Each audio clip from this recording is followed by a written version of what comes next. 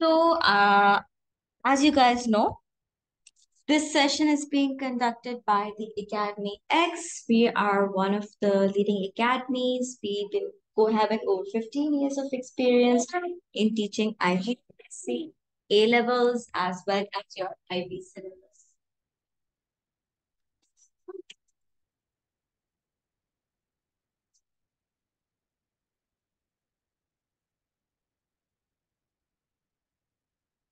I am your teacher, Ms. Fatma. I have been teaching uh, physics, biology, chemistry, IGCSE for over 10 plus years now. It's really nice to have you all here. I hope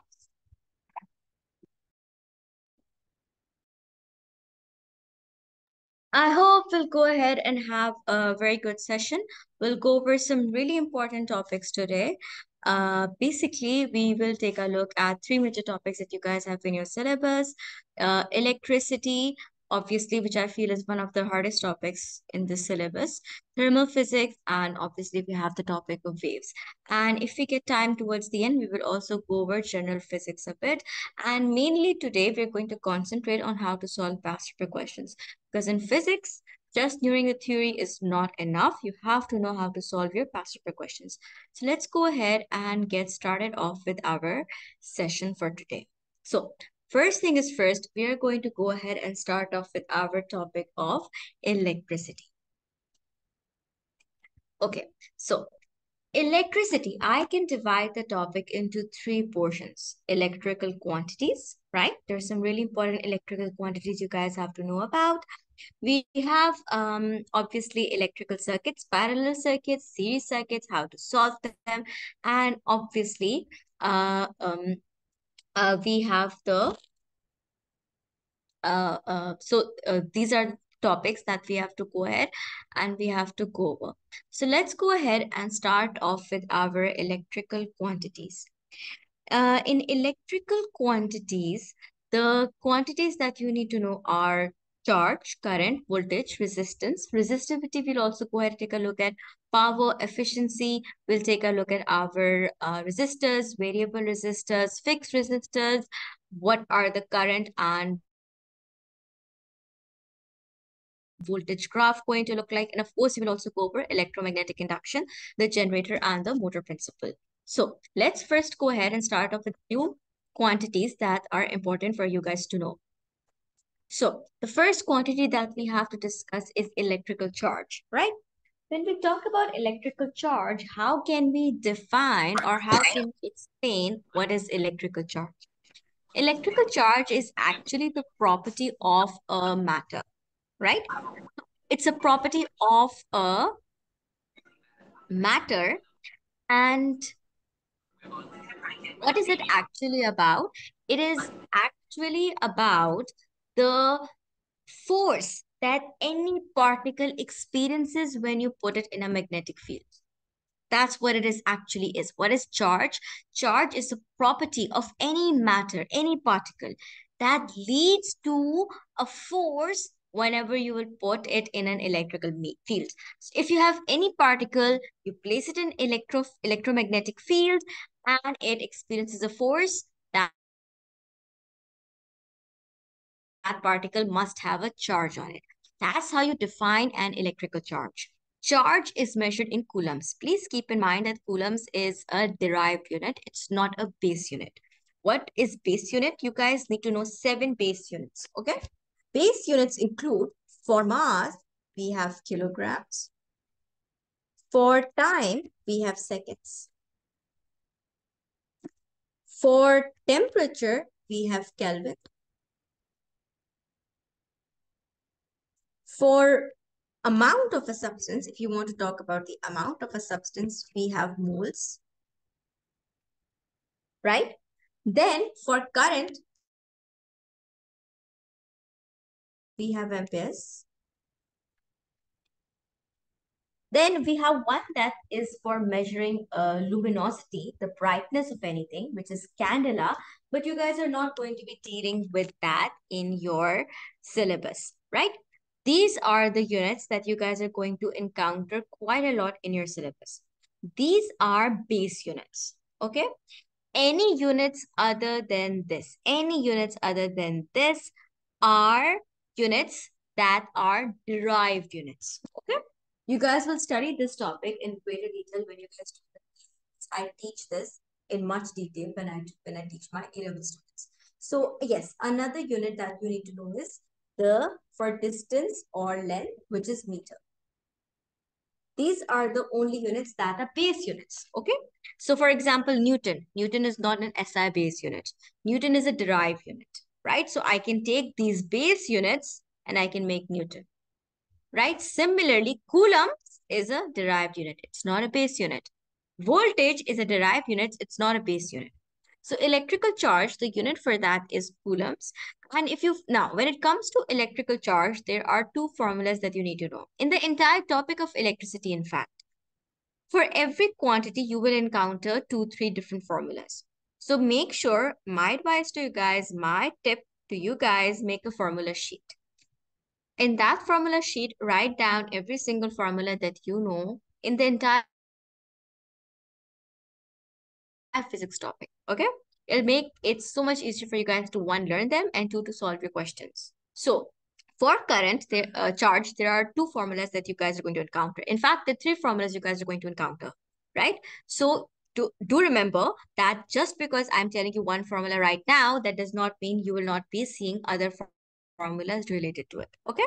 Now, you can find out what is the charge of any material by finding the number of electrons or the number of charged particles. The number of charged particles can be positive as well. So you can find the total number of charged particles and multiplied by the charge of one single electron. The charge of one single electron is 1.6 into 10 raised to the power of minus 19 coulombs. This is the charge of one single electron. Okay. So if I take the total number of any electrons or positive ions or negative ions in any material and I multiply it by the charge of one electron, I will be able to find the total charge on that material in coulombs. So this is one of the electrical quantities that you guys should know, definition, unit, and how to calculate. Then Another electrical quantity which you guys might be more familiar with is current. Current is the rate of flow of charged particles. Please keep in mind that the definition says charged particles, not necessarily electrons, right? And I will give, I'll explain this point to you guys. I don't know if you guys have ever thought of this before or not. A lot of you probably are doing your chemistry as well. A lot of you probably were there for my chemistry session as well. In chemistry, when you study the topic of electrolysis, right? The electrical current flows through the solution, but the positive ions and the negative ions are the ones that are moving, right? So current is basically the rate of flow of charged particles, not necessarily electrons, right? The definition is rate of flow of charged particles. The unit for current is amperes right? And this is the formula that you guys probably have encountered quite commonly, which, actually says that current is equals to charge divided by time. So if you take the total charge of any material divided by the time taken, you will be able to calculate the value of current. So current is simply how fast the charge particles moving. That's what current is how fast your charged particles are moving. And current is measured in amperes. And amperes is a base unit. So we have current. The third important quantity that you guys should know how to calculate and how to define is voltage, right? When we talk about voltage, voltage is the energy transferred per unit charge. So voltage is all about how much energy a battery or a power supply, whatever it is, how much energy is that battery transferring per unit charge. So for one charge particle, how much energy is that battery transferring? That will be voltage of the battery, right? So when you're seeing that, oh, this is a battery for 12 volts, you know that what is it telling you? It's telling you the amount of energy per unit charge. In one charge particle, this is the amount of energy that is going to be carried out. That is what voltage is, right? Voltage is measured in volts. And when we talk about voltage, there are two ways to calculate voltage. Either you can use voltage is equals to energy divided by charge. So you find out the total energy, you find out the total charge, you'll divide them and you should be able to find out what is voltage, right? In case that energy is not provided to you, you can also use work done. Voltage is equals to work done per unit charge. Again, an important concept that I want you guys to link. Please remember energy and work done are always equal to each other. If you guys are solving even general physics questions and you guys find yourself encountering the topic of energy and let's say that they have not given you any information that you require to calculate energy, do not get confused. See if you can calculate work done right? If you can calculate work done, then that's the same thing as calculating energy. So remember this, sometimes in the questions, they are not going to give you energy. They will expect you to calculate work done and use that to find what your energy is. So energy and work done are equal to each other. So you can either define energy voltage as energy per unit charge or if you say work done per unit charge, you would also be completely correct right? The energy, of course, is in joules, the charge is in coulombs, and your voltage is going to be in volts. So that's the third electrical quantity that is important for us to understand. Then another important quantity that we need to understand is resistance. Now, I don't know if you guys have ever thought about resistance in detail, right? What is resistance? Resistance, quite simply put, is the opposition to electrical current. If I am opposing the electrical current, right? If I'm opposing the flow of charge particles, if I am opposing the flow of electrons, I am resisting. That's what resistance is. Resistance is the measure of opposition to electrical current. The resistance is the measure of opposition to the flow of electrical current right? It is measured in ohms. Now, this much you might probably have already studied before.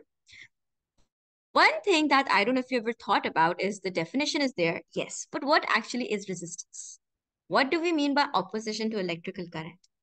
To understand this, we need to go ahead and take a look at something. This is something I also normally teach in A-levels, uh, but it really helps clear up, clear up some really important concepts.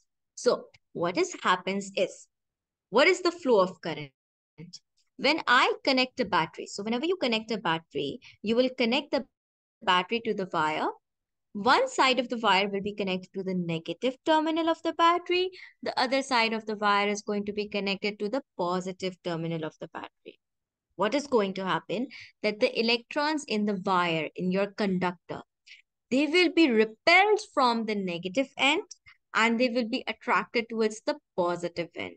So they will move from the negative terminal of the battery to the positive terminal of the battery. And as those electrons will flow, electrical current is going to be generated. Now, when we talk about resistance, as these electrons are going to be flowing through the metal. Now, if you remember your chemistry, if you have gone through chemistry, you might have studied metallic bonding. A metal is made up of positive ions surrounded by a sea of delocalized electrons. So these electrons have a lot of sort of obstacles in their way. As these electrons are going to be flowing, they are going to be bumping a lot into each other. They will be bumping, they will be colliding with the positive ions. And as they're going to bump, as they're going to collide with each other, they will lose a little bit of energy and they will slow down. That is resistance, right? Because flowing of the electrons was electrical current. But if the electrons will slow down, they're not moving that fast anymore. The current is now lesser. So the opposition of electrical current is what resistance is. And this is the logic behind resistance, that the electrons, as they collide with each other, as they bump into each other, they tend to lose a little bit of the energy and they tend to become slow down. So they're not moving that fast anymore. This is the logic behind resistance. And when I explain to you the concept of filament bulb, the concept of resistivity, you will see how everything links back to this concept. So resistance is the opposition to flow of, of electrical current. It is measured in ohms. Now, Ohms, the scientist, was the first one to actually, uh, or not the first one, but the first person to come up with an explanation of the relationship of resistance and other electrical quantities. So Ohm's law states, what, what did Ohm state? State, he stated that current and voltage are directly proportional to each other. Now, when we talk about directly proportional, what does this term mean? Directly proportional, okay, so if I asked you guys, what does directly proportional mean? And you said, if uh, voltage increases, current increases. That's not good enough. That's not what directly proportional means. Directly proportional means that if current will double, voltage will also double. If current will triple, voltage will also triple. That's directly proportional. If one quantity doubles, the other one also has to double, right?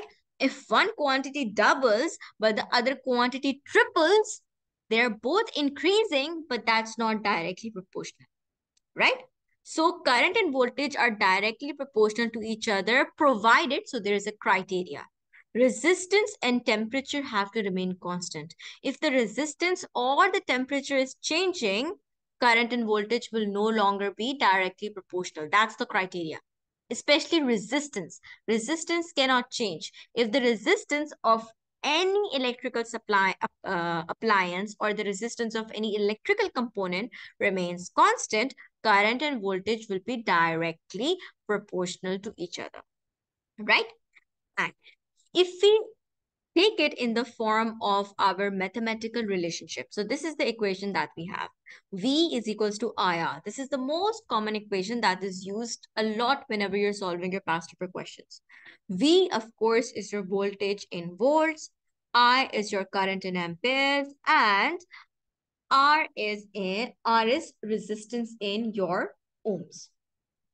So when uh, we're going to go ahead and talk about it. And this is what the graph is going to look like when you go ahead and you uh, uh, when you go ahead and you plot your information. If you plot a graph of voltage and current, you are going to end up seeing a graph that looks something like this. Okay? Now, do not take a look at the graph that they have given. In fact, do not take a look at this one. Take a look at this one. Over here, this is the graph. This graph has current on the y-axis and voltage on the x-axis. Now, as you can see, we have a directly proportional relationship. How can you look at a graph and tell if the relationship is directly proportional or not? There are two criteria for that. One, you must have a straight line.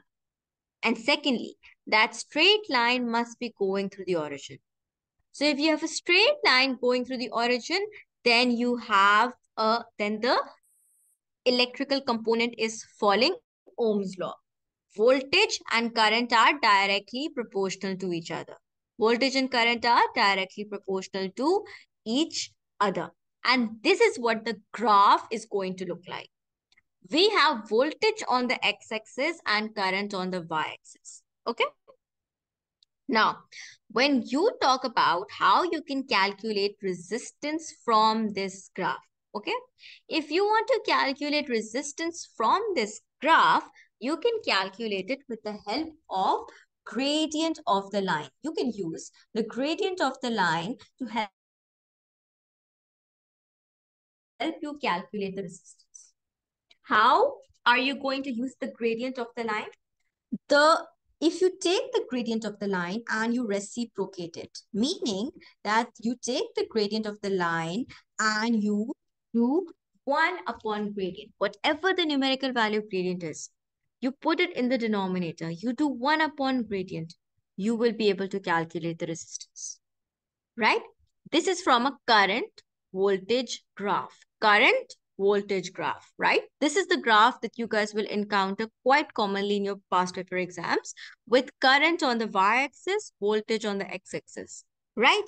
And if current is on the y-axis, please pay attention to exactly what I'm saying. If current is on the y-axis, in that case, use the formula I have provided. Calculate the gradient of the graph and take out the reciprocal. That is going to be equal to the resistance of that of that electrical component. Now, this is the common graph that you see. Sometimes though, you might see a graph that looks like this. The graph that you see over here, it has voltage on the y-axis, right? This graph has current on the y-axis. This graph has voltage on the y-axis. So you will, this is the graph you will encounter most commonly, this one, where current is on the y-axis. This is the one you guys will actually find quite a lot in your past papers. But I also want to inform you guys, you will see questions where voltage is on the y-axis. If voltage is on the y-axis, then the way of calculating your resistance is slightly different. Okay, so if voltage is on the y-axis, and I hope you guys are noting this down, if voltage is on the y-axis, then the gradient is directly equal to resistance. If current is on the x-axis, then please use 1 upon gradient to find the resistance. If voltage is on the y-axis, like this graph, in that case, the gradient is directly equal to the resistance of the electrical component. So whenever you guys are finding yourself looking at a voltage current graph, please first look, take a look at what is on the y-axis. This is what you will do if current is on the y-axis. And this is what you will do if voltage, voltage is the one that's on y-axis. So this is what your graph is going to look like, right? This is what your graph is exactly going to look like for, and current voltage is the one you'll find very commonly. This is what the graph is going to look like. Directly proportional relationship, 1 upon G is equal to the resistance of the electrical component. Now, when we talk about our resistors, right? You guys need to know that we can classify resistors into two categories. We can have fixed resistors or we can have variable resistors. Fixed resistors are those resistors that follow Ohm's law, meaning that their resistance is constant. It will not change, right? Throughout the entire electrical circuit, throughout the entire process, the resistance is not going to change. It's known as a fixed resistor. Okay. But we can have resistors that are considered as variable resistors, meaning that their resistance is going to change, right? And hence they do not follow Ohm's law. So we cannot use Ohm's law to solve questions related to variable resistors. And that's why you're not going to find yourself uh, dealing with questions related to variable resistors, uh, you'll only deal with simple calculations, right? Now, when we talk about variable resistors, variable resistors can further be classified into four categories. We can have a filament bulb, we can have a diode, we can have a thermistor, or we can have a light dependent resistor. We are going to go over all four options one by one, right? Okay. Let's first talk about a filament bulb. Over here, if you see the graph that is in front of you, you will see this is a current voltage graph. Okay. In a current voltage graph, what did I tell you? 1 upon G is equals to R in a current voltage graph, right? Please make sure you remember this. Now, what is happening in a filament uh, lamp graph? First of all, you can see we do not have a straight line. We have a curve. So obviously the resistance is changing, right? Now, if you take a look at the gradient of the line, you will notice that the gradient of the curve, so we can calculate the gradient of the curve by making a tangent, right? So you will see that if you draw a tangent at multiple points, you will see that as you go along, the gradient of the line is uh, decreasing, right? The gradient of the line is actually decreasing. Now, we know that 1 upon gradient is equal to resistance, right? Gradient and resistance are inversely proportional. They have an inverse relationship. So, if the gradient is decreasing, that means resistance is increasing. In a filament lamp, the resistance increases. Remember that. In a filament lamp, the resistance increases. Why? Why is the resistance of a filament lamp increasing? The reason for that, again, I can explain to you guys using the concept of resistance. What is going to happen? That when you are going to increase the voltage, electrical current will also increase, right? We know that. As the electrical current will increase, the electrons will start to move faster and faster and faster and faster. As those electrons are going to start moving faster, they are going to gain kinetic energy. They will start colliding, bumping, running into each other a lot more often, right? If you have a bunch of people walking slowly, they are less likely to run into each other. They're probably going to travel, you know, in a straight manner. But for example, what happens in a mob, right? What happens in a mob or what happens when a place is overcrowded, there are more chances of you bumping into each other. Same uh, thing applies to electrons. The more voltage you're going to provide to the filament lamp, the more current is going to be there the more current is going to be there.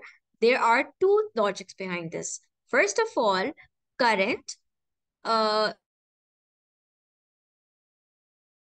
leads to increase in temperature. And then also current will increase the flow of electrons. The electrons are flowing faster and they're gaining kinetic energy. So as a result, they will bump and collide into each other more often, even more than before. Hence, they will slow down. So since they're slowing down, resistance is increasing. That's the reason why in a filament bulb, bulb resistance increases as you increase the voltage. Because the electrons will move faster, they'll gain kinetic energy, and hence they will collide and bump into each other even more often. And in the process they will slow down so the resistance of the filament bulb increases. This is the reason why a filament bulb gives you a graph of this shape. You have a curved graph, right? Now, another important uh, resistor that you guys should know about is a diode. A diode is a resistor that only allows the electrical current to pass in one direction. To understand this concept, we have to understand that we have two types of currents that you might find see in your uh, that you might see in your electrical system. We can have direct currents and we can have alternating current. Okay? Alternating current is the current that is produced from your generators. We will go over the topic of electromagnetic induction and generators. So we will take a look into this. In alternating current, what happens? That current is a vector quantity. So in alternating current, the current produced is traveling in both directions, forward as well as backwards, forward as well as backwards, right? The graph looks something like this, positive, negative, positive, negative. Positive and negative does not mean that the value is becoming neg negative. It simply means that the direction of the current is changing, right? This is alternating current. So what is a diode going to do? It will only allow the current to pass in one direction. So it will only, for example, allow the current to pass in the forward direction. This is the symbol of a diode, by the way. It will only allow the current to pass, for example, in the forward direction. If the current travels in the reverse direction, in the backwards direction, it will not be allowed to pass through. Hence, if you take a look over here, you will see when the voltage is negative, the current is zero. And when the voltage becomes positive, the current increases very rapidly within the diode. There is the reason for that. And the reason for it is uh, what is a diode made up of? A diode is not made up of a conductor. It's not made up of some kind of metal. Like a filament lamp, it's made up of a metal wire. uh, your normal resistors, they have metal components. But a semiconductor diode is not made up of a metal. Instead, it is made up of a material known as semiconductor. A semiconductor is a material that conducts electricity partially, only up to a certain extent, right? So, since it's a semiconductor, it will only conduct the electrical current in one direction. You will study semiconductors in greater detail when you do your A levels. I teach this in my A levels, so you will study this in much greater detail then. So in a semiconductor diode, you'll see that when voltage is negative, there's going to be no like flow of electrical current. Then as soon as the voltage becomes positive, the electrical current will increase. And then we have thermistor or light dependent resistor. Both of them give you similar graphs. That's why I did not make them separately. In a thermistor, what happens that both thermistor and your light dependent resistors are basically can act as sensors. Okay, I'll explain what I mean by that in just a second. Firstly, in thermistor. So in thermistor, what happens that as temperature increases, the resistance of the thermistor will decrease. Or as the temperature of a thermistor will decrease, the resistance will increase. So in a thermistor, the resistance does not depend upon voltage or current or anything like that. It will depend upon the temperature of its surroundings. So based on the temperature of the surroundings, the resistance of the thermistor can increase or it can decrease. Similarly, LDR or light dependent resistor does the same thing but with light.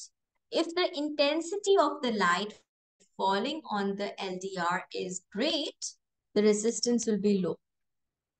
And if the light intensity decreases on the LDR, the resistance will increase. And so again, for an LDR, the change in resistance is not related to voltage and current. It's related to an external environment. It's related to the light that is falling on that electrical component. And keep this in mind that they can act as sensors, meaning that let's say I, I have a, a, a refrigerator, okay? I can set up the thermistor in such a way that if the temperature of the refrigerator starts to increase, for example, somebody left the door open and now the refrigerator is heating up. So the refrigerator can start to beep, it can start to produce an alarm so that it can be notified that the temperature has been increased. Another major example, it's used in fire alarms, thermistors, right? That's how they're able to sense the change in temperature and that's one of the reasons how they're able to actually uh, activate the, for example, the sprinkler system. Similarly, LDRs are often used in burglar alarms, right? Where uh, if uh, any light will turn on, the alarm turns to go off. So the, you have thermistor and you have LDR. These are also both classified as variable res resistors. So this is uh, the four types of resistors that you guys are going to find yourself encountering in your past paper questions. So far, does anybody have any question? I hope everything is making sense. Would anybody like to ask anything?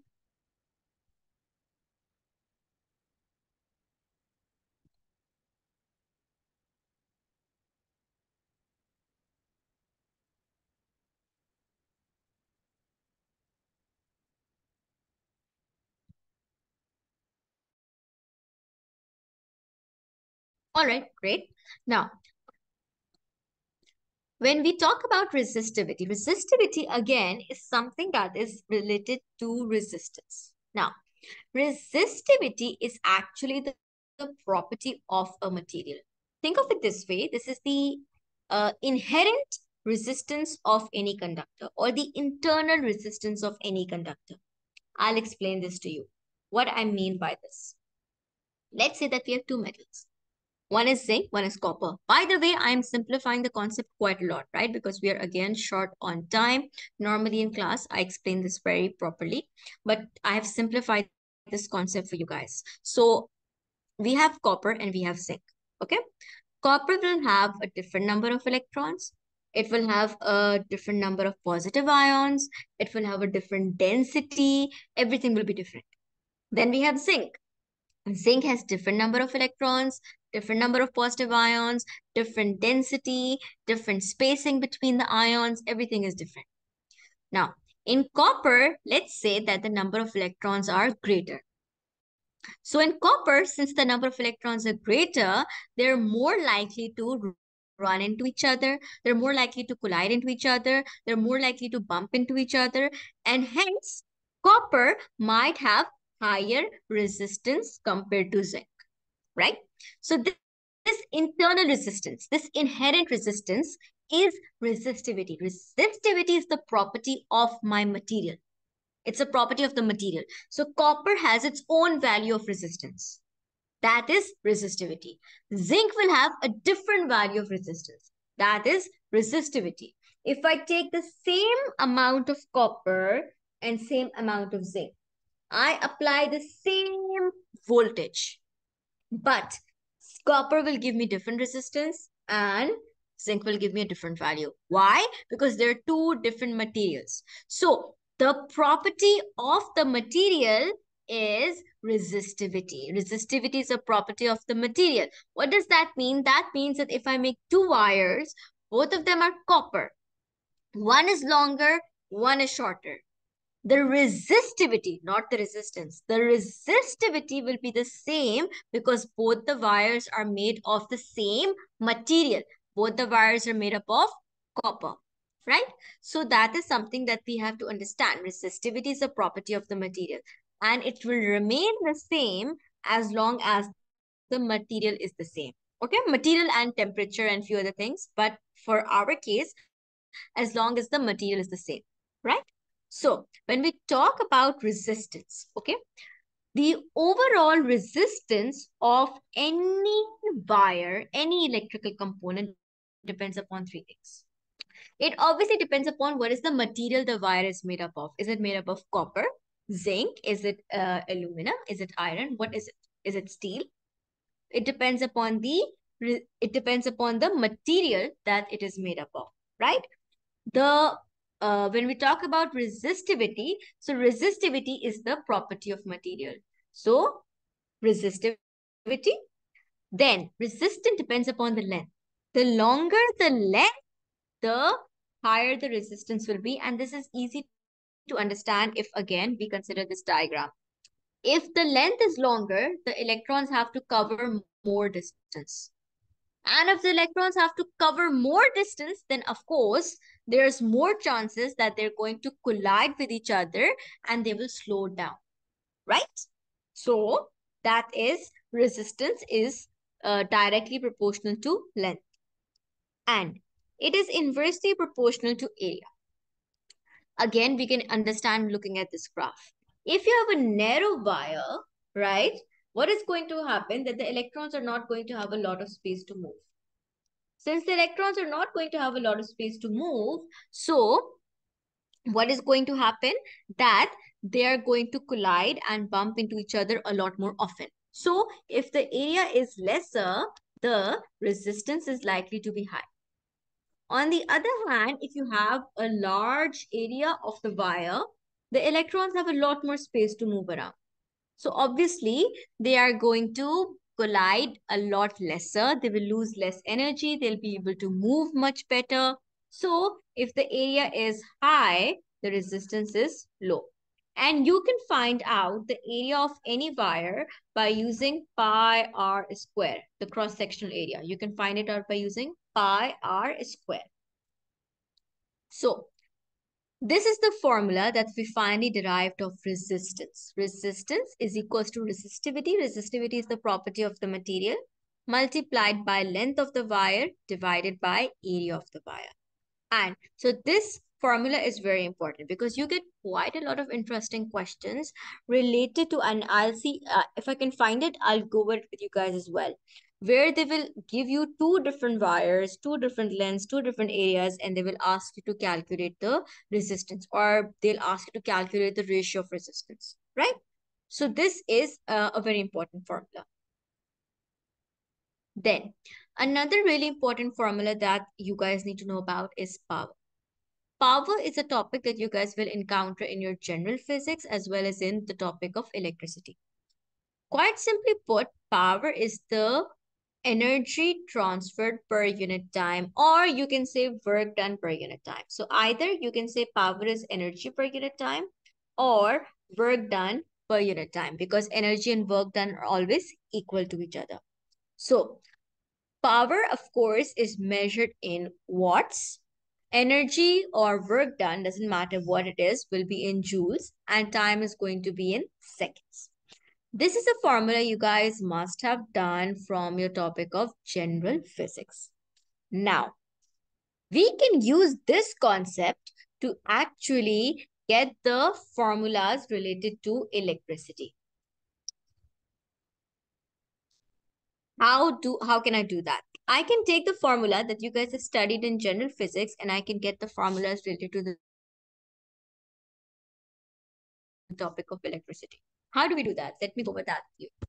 So we know that power is equals to energy upon time. We know that when we talk about energy, so energy upon charge is equals to voltage, right? So let's rearrange the equation and make energy our subject. So energy is equals to voltage multiplied by current, uh, multiplied by charge, sorry. All right. Let's substitute this in our equation. So power is equals to voltage into current divided by time. Current upon time. Hmm, we have studied this formula somewhere. Current is equals to charge upon time, right? So I can substitute this in the formula. So my formula becomes power is equals to voltage into current. And this is the formula that you guys must have studied so many times, right?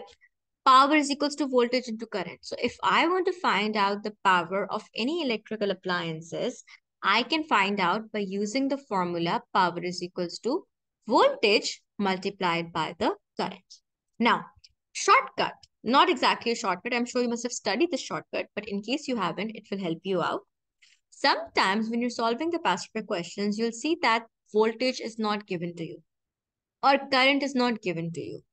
Now, in this case, you have two options. Option number one is that you calculate the current or you calculate the voltage and then you use the formula power is equals to VI and get the answer. Or Option number two, you can use alternate formulas.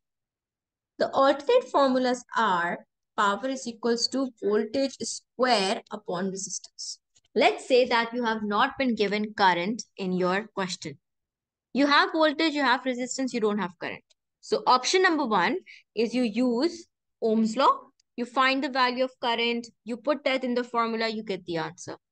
Or you use the alternate. In this case, you don't need to worry about calculating current. You can directly take the voltage, directly take the resistance, put it in the formula, calculate your power, right?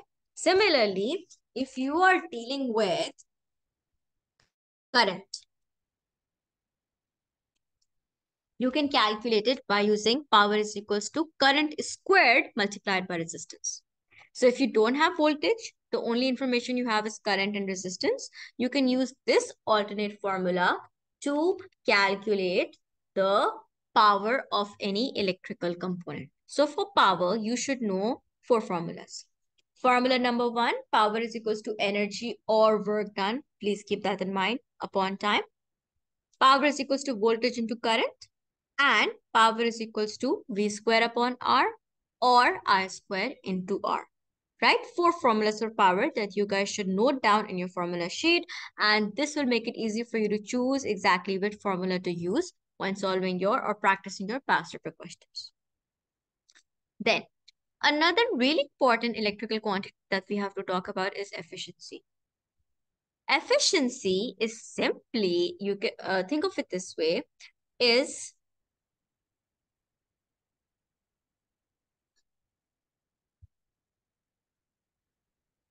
uh, when we're going to go ahead and talk about it, it is simply how good a machine is in taking the input and converting it into output. Right? How good a machine is in taking in the input and converting it into an output. But For the output, it has to be useful output. Useful output is the output that is desired. For example, I have a filament bulb or I have a lamp. The useful output is light. I want that bulb to be producing light. Wasted output will be heat energy. I do not want the bulb, bulb to be heating up. I don't want the heat energy. I want light. I, I mean, obviously the heat energy is still going to be there. I can't stop it, but that's wasted. So when I talk about efficiency, it's how good is my bulb from taking the electrical energy, right, converting into light energy. That's efficiency. The more efficient my bulb is going to be, more of the electrical energy will be converted into light energy. The less efficient it is going to be. So what's going to happen? That most of the electrical energy will be wasted away as heat energy and only a small quantity of it is actually going to convert into light energy. So efficiency is how good a machine is in taking the input and converting it into useful output. You can calculate the energy uh, efficiency by either taking energy or with power. You can calculate it using both. So either you can take a look at the useful output energy in our example, light energy, and divide it by the total input energy. So that would be electrical energy. Then we can have useful power output and divide it by the total power input. Both of these situations, you, uh, you can use energy as well as power. The formula will remain the same. It's output over input. Useful output over total input. So this is uh, our electrical quantities that you had to know. Now, before uh, uh, the next part of your topic of electrical quantities is, uh, or electricity is electrical circuits, right? When it comes to electrical circuits, you have two major circuits in your syllabus. You have series circuits and parallel circuits. Practicing these circuits is very important because you guys probably know this. And this is the reason I'm going over this topic first is because you even in your paper two, you get a lot of questions, MCQs related to electricity. In your paper four, there's always at least at least one question, sometimes two, mostly two, in fact, related to the topic of electricity, right? So you guys, in the topic of electricity, electrical circuits are quite important. So let's go ahead and first discuss what are the rules for solving questions about series circuits and parallel circuits. And then we're actually going to take a look at past paper questions and see how we can solve questions. Because in physics, like I said, the main thing is to know how you are going to answer questions, right? Now, when it comes to series circuits and parallel circuits, to be very honest, if you talk about a simple diagram, the rules are easy to understand. Where does this topic get confusing? This topic gets confusing when you take a look at combination circuits.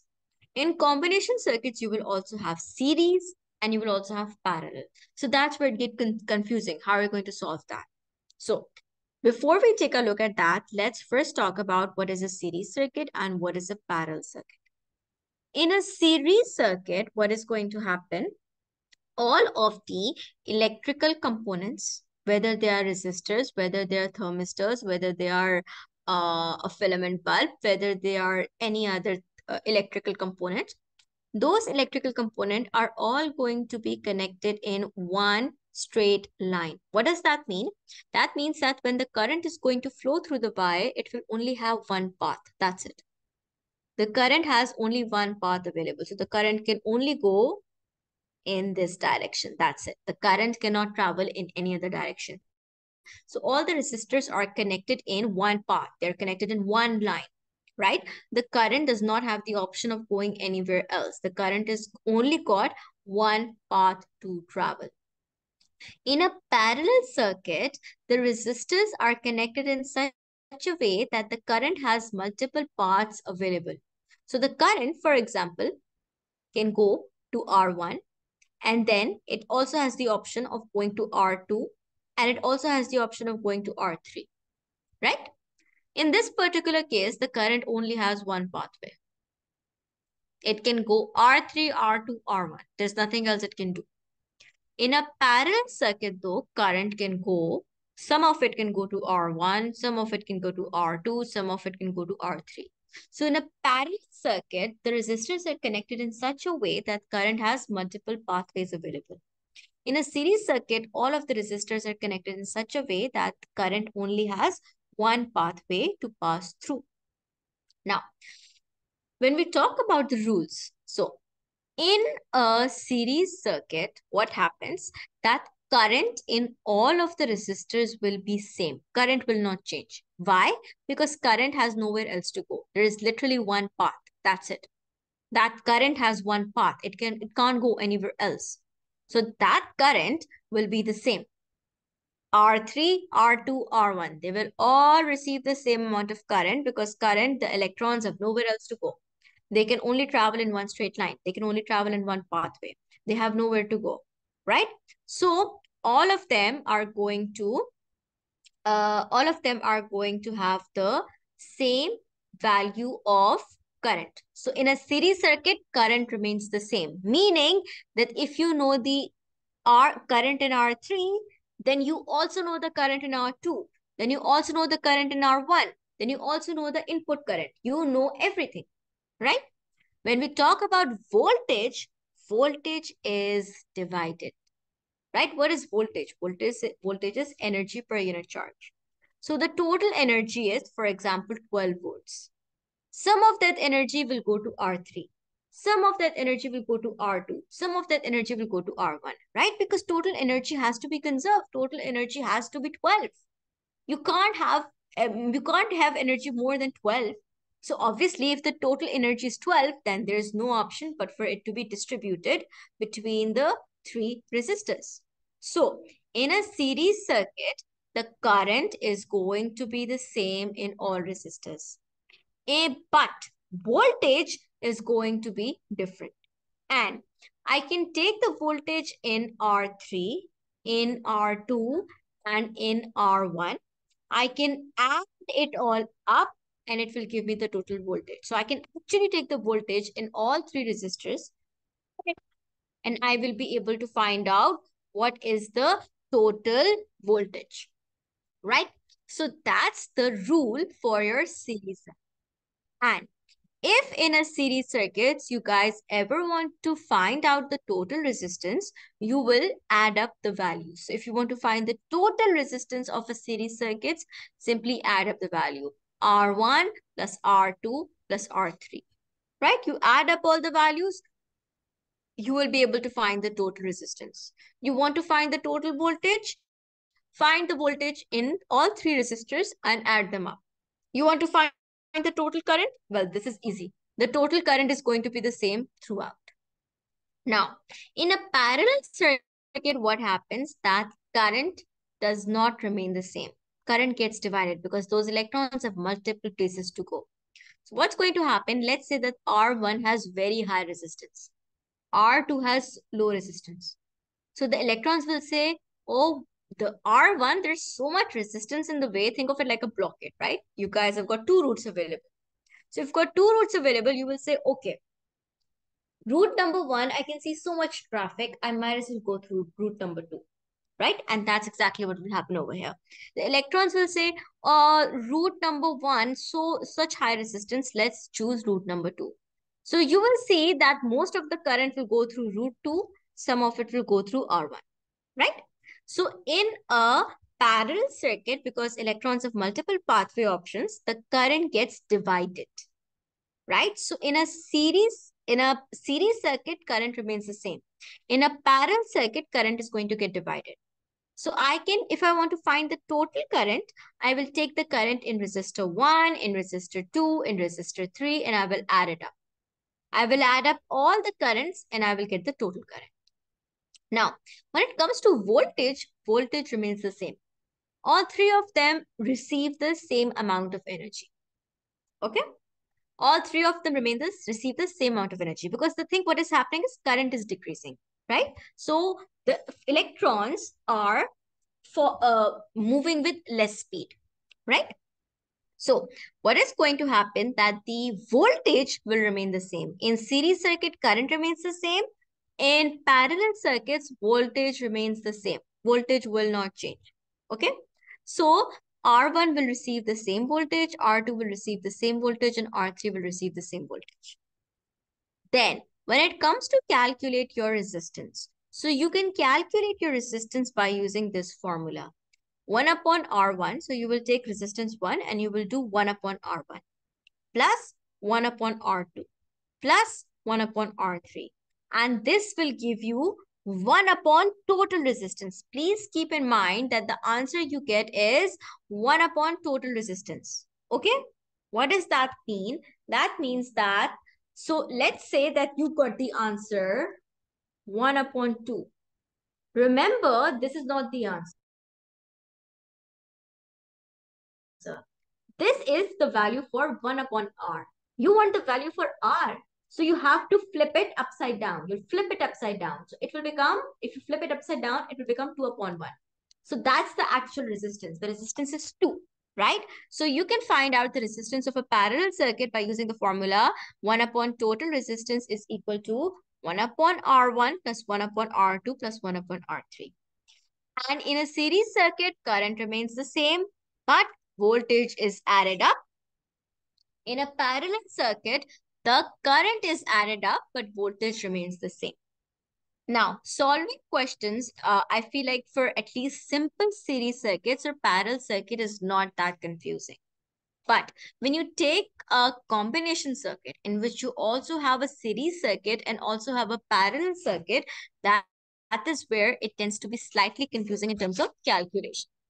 So we are going to go ahead and actually take a look at some questions on how to solve the topic that we have covered so far. Meanwhile, does anybody have any confusion, any questions, anything that's not clear?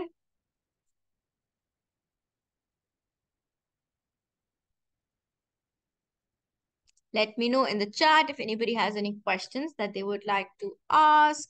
We're going to go ahead and practice some questions together. We're going to go ahead and take a look at that. We're going to practice some questions together. Uh, I'll solve them with you. I would absolutely love it if you guys solve them with me.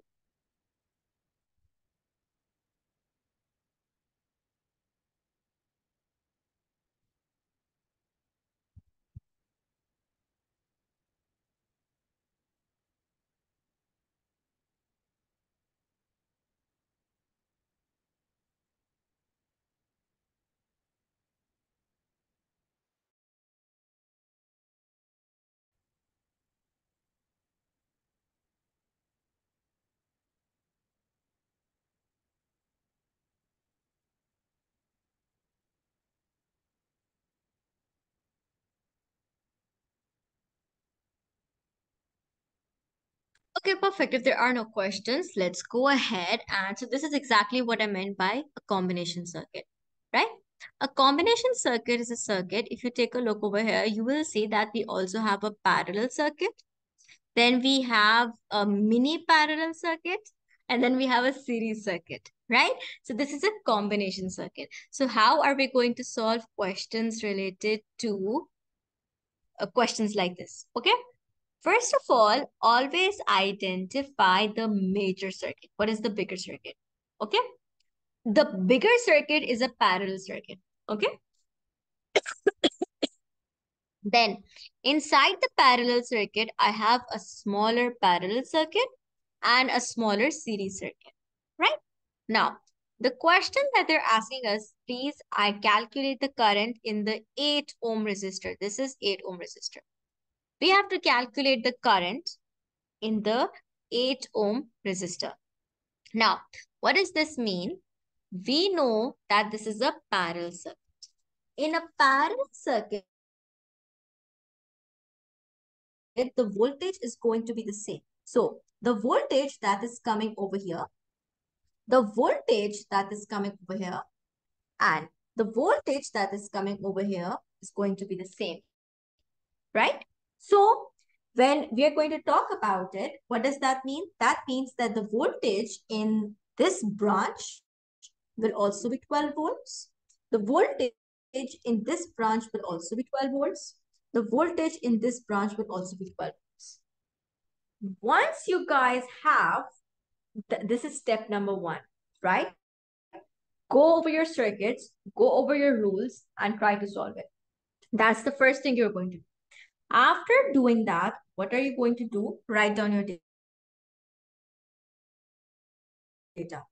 You have the voltage, 12 volts. The resistance, if you take a look at the diagram, is 8 ohms. What formula should I use to calculate the current?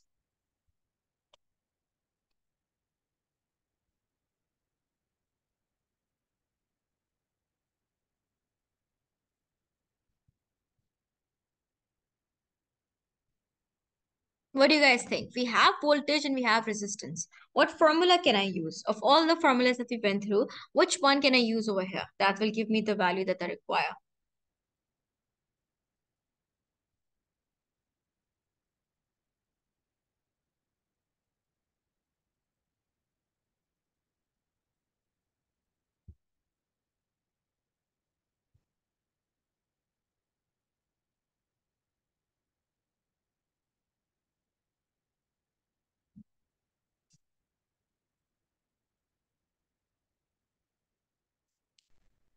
Yes, exactly. You can use V is equals to IR, right? So rearrange the formula to make current the subject. Voltage upon resistance gives us current. That's very good. Now, can you calculate the value for me? What is our current going to be?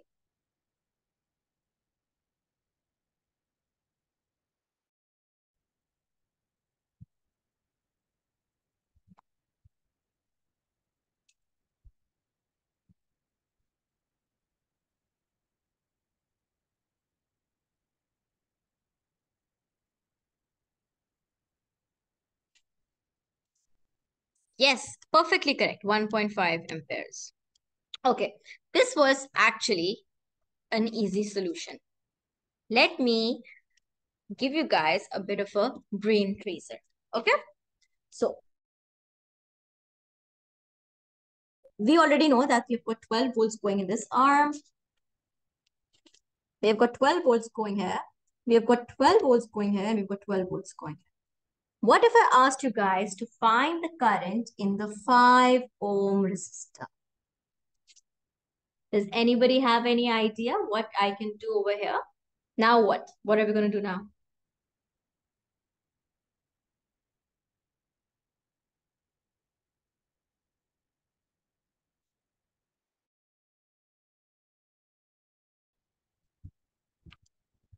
Yes, current will remain the same. So whatever is the current in uh, your 5 ohm resistor, this one will also receive the same current, correct?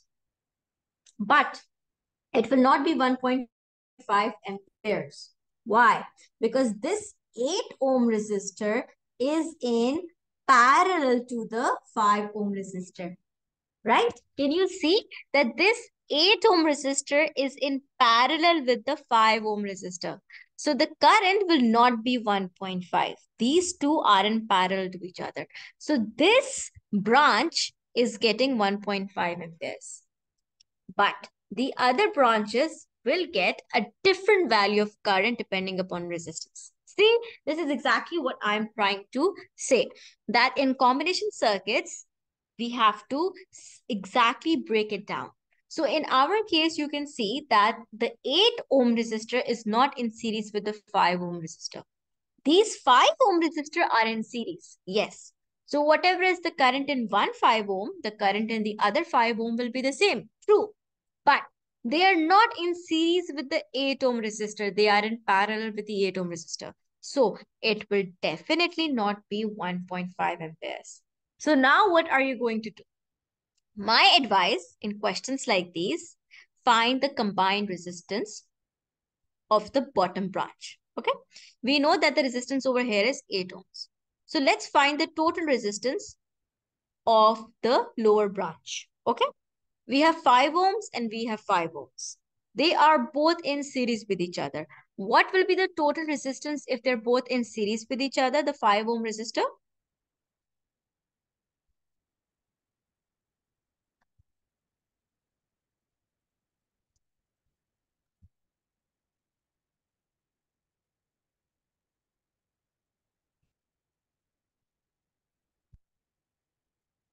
What do we do when we are adding up resistance in a series circuit? what formula do we use? We use resistance is equals to R1 plus R2 plus R3, so on and so forth, right? So we have, so we have 5 ohms and we have 5 ohms. That gives us a total of 10 ohms, okay? So I'm going to, what you're going to do is that you're going to find the total resistance. So the total resistance is 10 ohms. Now, what is the voltage? The voltage that is in the entire branch from here to here, okay? In the entire branch, the voltage is 12 volts, okay? The current, we don't know. The total resistance is 10 ohms. So 12 divided by 10 gives you 1.2 amperes. So the current that we will see in the 5 ohm resistor is going to be 1.2 amperes. Both of them. Both of them will give you a value of 1.2 amperes. Right? So over here we have to understand that even though these two are in series with each other, but they are parallel to the 8 ohm resistor. So we have to keep both of the circuits in our mind. So the current that both of them will receive is going to be 1.2 amperes, right?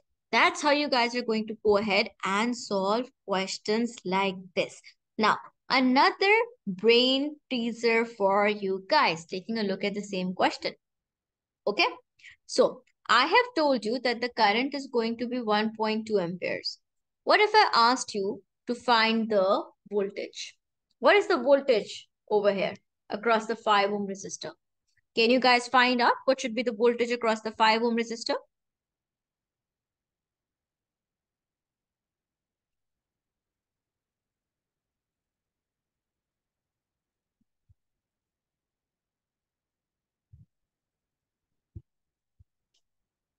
Yes, correct, Samira. Good job. So you will get 6 volts over here and 6 volts over here. And the total is equal to 12. Right? Perfect. Now, so over here, the 8 ohm resistor is getting 1.5 ampere current, 12 volts voltage. In this particular case, both of them will get 1.2 amperes current, but the voltage will be divided because they are in series with each other. Now, come to the top branch. In the top branch, let's say I ask you to calculate the current across the 4, 4 ohm resistor. What are you going to do? If I ask you to calculate the current in the 4 ohm resistor, can somebody tell me what we will do?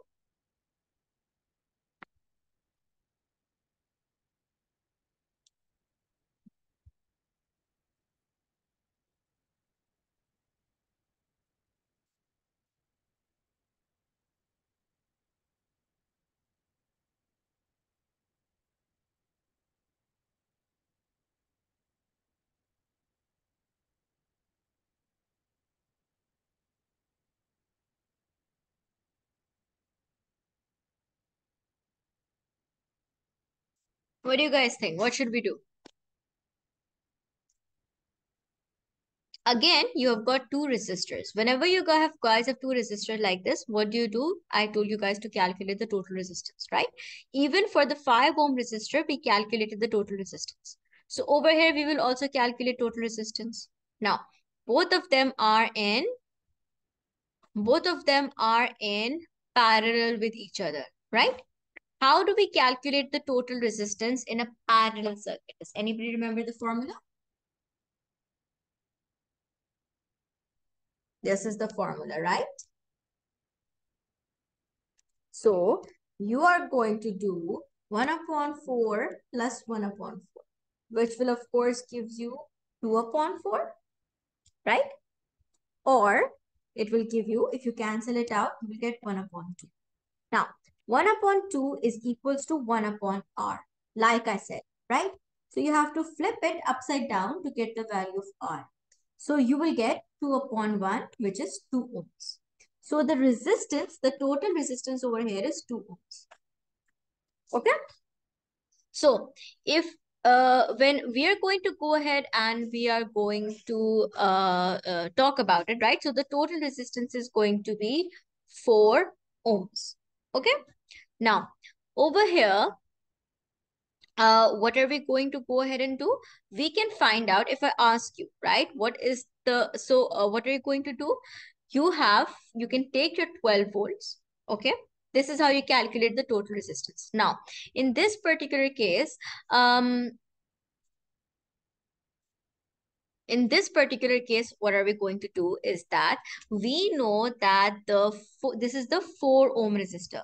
This 4 ohm resistor is in parallel with another resistor. In a parallel circuit, the voltage remains the same. So this one is also going to get 12 volts and this one is also going to get 12 volts, right?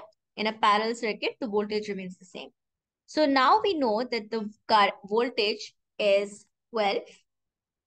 We know that the resistance is 4. So we can use the formula V is equals to IR, right? So you will do 12 upon 4 and you will get 3 amperes as your current, right? So this is how you guys are going to go ahead and this is how you guys are going to solve your combined circuits. Is this making sense? Do you guys uh, see how we're going to solve questions related uh, like these?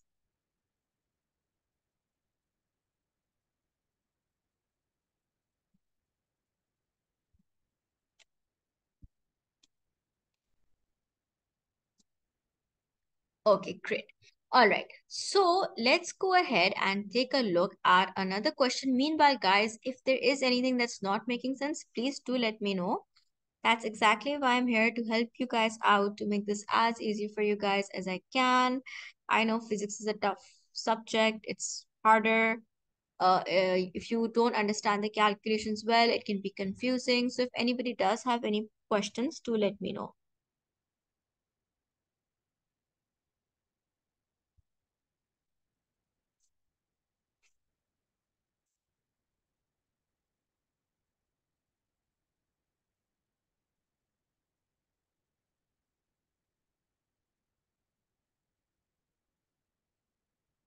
All right, so now I have another question for you guys that I want you guys to go ahead and solve it with me, okay?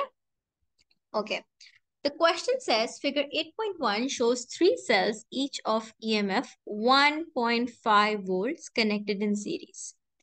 Calculate the combined EMF of the cells. So what do you guys think? What should be the combined EMF of the cell? It's a one mark question, so it's quite easy.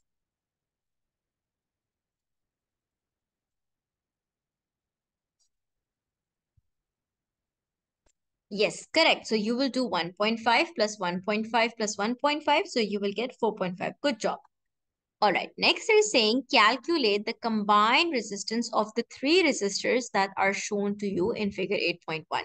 So how can I calculate the combined resistance of these three resistors?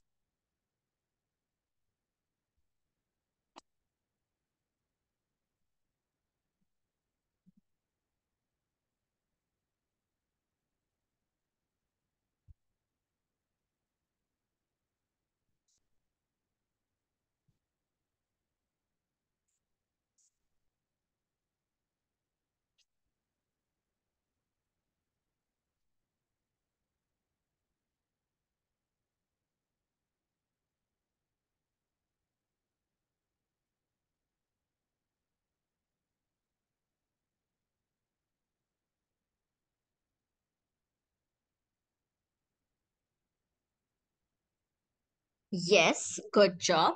Good job, Juliana. So you are going to, first of all, solve the series component. Okay. So you are going to do 4 plus 1 that gives you 5. So over here, we are going to have 5. Okay.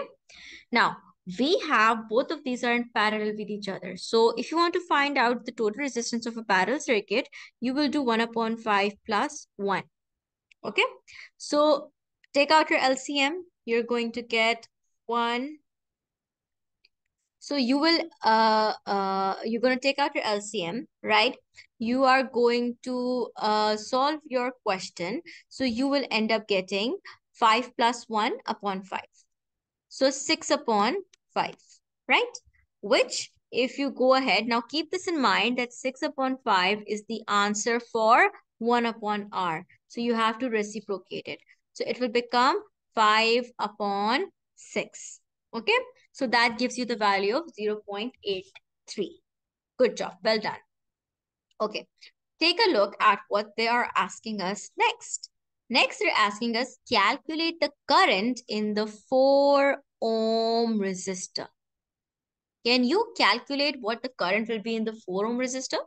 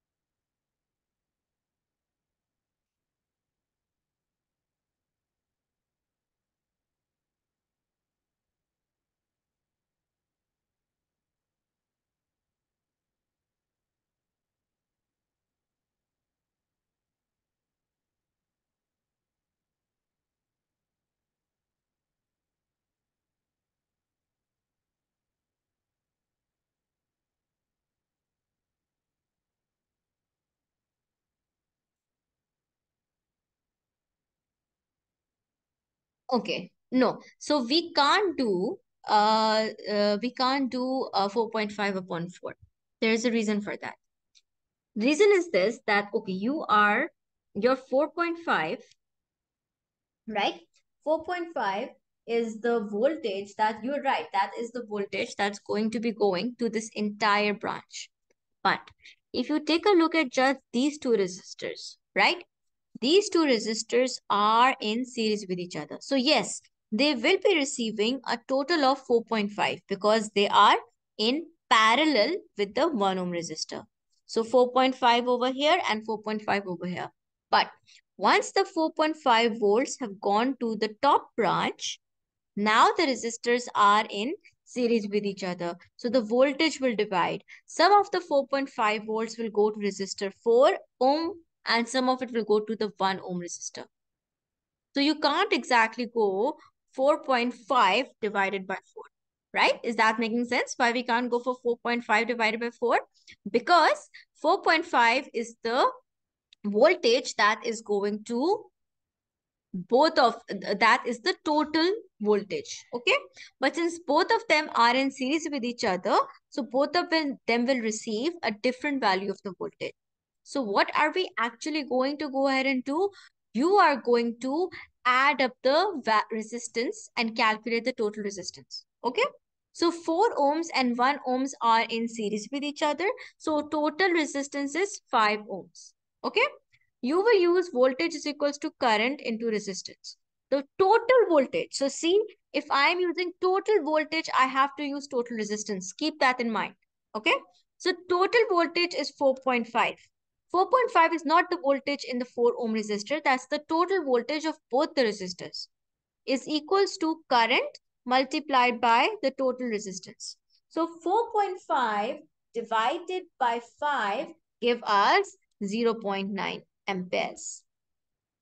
And since 4 ohms and 1 ohm are in series with each other, so we know that if the total current is 0.9, so 4 ohm will also receive 0.9 and 1 ohm will also receive 0.9.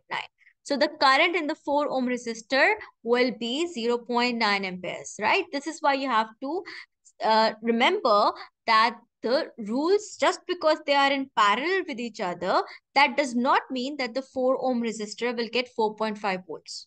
Okay? Because even though it is in parallel with the 1 ohm, it's in parallel with the 1 ohm, but it is in series with the resistor over here. So, the voltage will get divided between these two resistors. Right? I hope that's making sense. If there's any confusion, do let me know.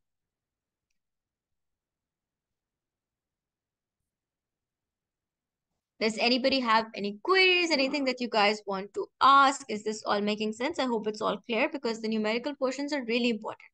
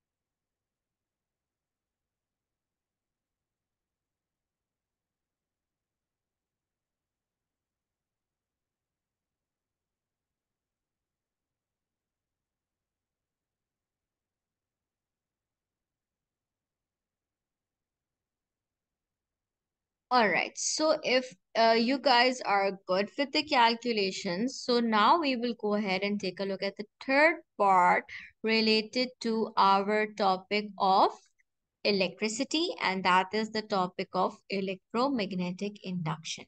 Now, electromagnetic induction is actually quite important because obviously it links to your uh, generator, your motor, as well as your transformers. So we will go ahead and we will take a look at all three.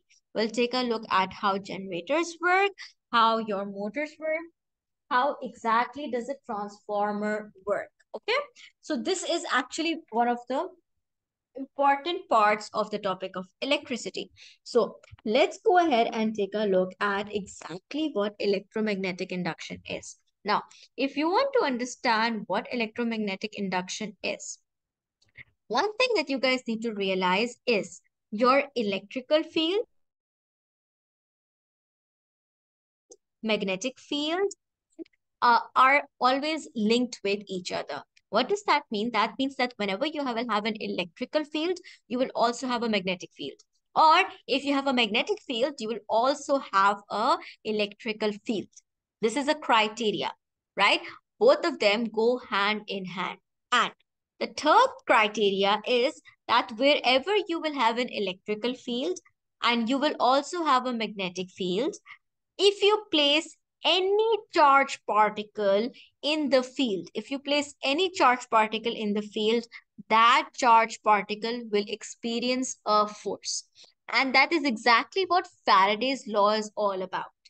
Whenever you will take any charge particle, you will put it in an electromagnetic field because in electrical field and magnetic field go hand in hand. If you take any charge particle, put it in an electromagnetic field, that particle will experience a force. Okay? So that is what Faraday's law is all about. Now, when we the thing is that it can also go the other way around. If I take a charged particle, right, and I apply a magnetic field. If I take a charged particle, I apply a magnetic field and I move the charged particle, electrical field will be produced, right? So three things go hand in hand. Movement, movement of what? the charge particle. Then your magnetic field, then your electrical field. If you have an electrical field and a magnetic field, then the charge particle will move. If you have a magnetic field and a moving charge particle, an electrical field will be produced, right? So these three things always go hand in hand. If there is two of them, the third one will happen. If you have magnetic field and electrical field, the particle will move. If you have a moving particle and a magnetic field, electricity will be produced. So if you have two of them, the third one is bound to happen. That's how your uh, electromagnetism actually works, right? That's what electromagnetic induction is all about. Now, the in, in, electromagnetic induction, you guys are dealing with two topics. You're dealing with the motor effect and you are dealing with the generator effect. Okay? when we talk about our motor effect and generator effect, so in the difference between the two of them is that in the motor effect, you are providing the movement. You're providing the magnetic field. You're providing the movement. You're providing the magnetic field. And uh, uh, I'm so sorry. You're providing the electrical field and you're providing the magnetic field in the motor effect. In the motor effect, you're providing the electricity, you're providing the magnetic field. What is the result? Whenever you have two of them, you will get the third. What is the third? Movement. So if I apply electrical field and I apply the magnetic field, I will see movement. My particles will start to move and my motor will start to rotate. In a generator, what happens? I will give the magnetic field, I will give the movement, but what will be the result? Electricity will be produced. Right? So whenever you have two of the things, the third one will form. And that's exactly what Faraday's law is all about. If I take any wire, I move it across a magnetic field, what will happen? That electrical current will be generated. I take any wire. It's not connected to any power supply. You guys can try this at home. Take any wire, move it between a magnetic field. You will you can connect it to an ammeter to check if the electrical current is, uh, is formed. And you will see that the ammeter is going to give you a value, right? So that is electromagnetic induction. What is happening that voltage is being induced in the wire due to the cutting of magnetic field lines, right? Between my two magnets, I have my magnetic field lines. If you guys remember, between the North Pole and the South Pole, the magnetic field lines go from north to south. So as I take a piece of wire and I move it. So see, I have provided with the magnetic field, right? And then I need to provide with movement as well. So you need to take the wire and you need to move it perpendicularly. Okay, don't move it parallelly, move it perpendicularly, move it up and down. So you will see that the wire will, uh, a voltage will be induced in the wire. A voltage will be induced in the wire. Why is the voltage being induced in the wire? Due to the fact that as you move the wire, it is cutting the magnetic field lines. It is cutting those magnetic field lines, right? So voltage is being induced because the wire is cutting the magnetic field lines. Why is it important for, okay, keep in mind that it's not necessary that you move the wire. You can move the magnetic field if you if that is possible. If you can move the magnetic field, you can move the magnetic field. But the magnetic, but one of the things have to be changing, right? If you have the wire stationary, magnetic field is stationary, nothing will happen. Either you need to move the wire or you need to have a changing magnetic field, right? Regardless of whatever the uh, situation is, if you have a movement of a wire in a magnetic field, what is going to happen? The wire is going to cut the electrical field lines. And as it is going to cut the electrical field lines, voltage is going to be induced in the wire. The reason I'm going over the statement again and again is because you get questions where they ask you to explain the principle of electromagnetic induction. If you do not include the relevant terminologies, you're not going to get the marks. You have to talk about the cutting of the magnetic field lines. You have to talk about voltage being or EMF being induced, right? Now, so when this is what electromagnetic induction is that if I take any wire and move it in a magnetic field or I place it in a changing magnetic field, it will cut the magnetic field lines and as a result, voltage will be induced. Now, there are three factors that can affect the amount of voltage. How much voltage is being induced depends upon three things. It depends upon the speed of the movement, how fast you move the wire, or how fast you move the magnetic field. It depends upon the number of turns. So if you, for example, instead of placing one wire, you decide to place a coil, right? That coil will actually experience a higher voltage than one single piece of wire. So it depends upon the number of turns. The greater the number of turns of the wire, the higher the voltage that it's going to experience. And then it depends upon the strength of the magnet. The stronger your magnet is going to be, the greater the voltage is going to be induced, right? So these are the three factors that can affect the amount of voltage that is being induced. Now, when we talk about electromagnetic induction, so electromagnetic induction is really important if we uh, talk about our generator effect because this is exactly what generator is all about. We are producing electricity. Voltage is being induced in the wire. To do that, we need a magnetic field and we need a wire that is moving. So let's go ahead and take a look at what happens to our generator effect.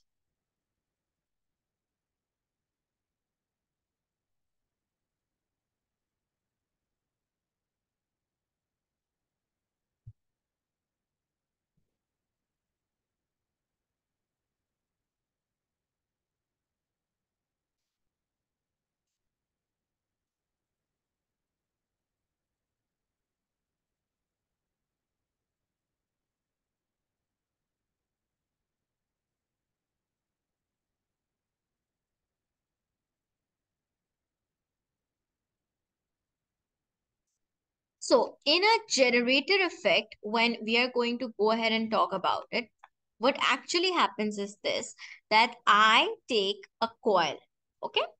I take a coil and I go ahead, in fact, hold on. Yes, I take a coil and I place that coil in a magnetic field.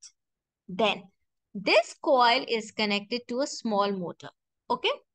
That motor is going to be rotating the coil in the magnetic field.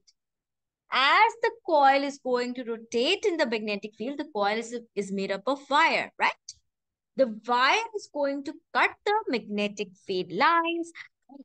Going to cut the magnetic field lines, voltage will be induced in the wire. And that voltage is, is the one that we actually use uh, in our generators. This is how a generator basically works. So a current is going to be connect is going to be induced in the wire and then the wire will of course connect to your appliances, to your houses, wherever you require it to be. So how does the process work? To understand how the process works, we need to go over something that is known as uh, Fleming's uh, uh, right hand rule. Okay. So what is uh, Fleming's right hand rule? When we talk about Fleming's right hand rule, to understand this, you guys uh, take a look at the position of the hand. It's really, really, really important that you guys take a look at the position of the hand. Okay. Whenever you guys are applying the Fleming's rule, whether it's left hand or right hand, I'll teach you the left hand as well.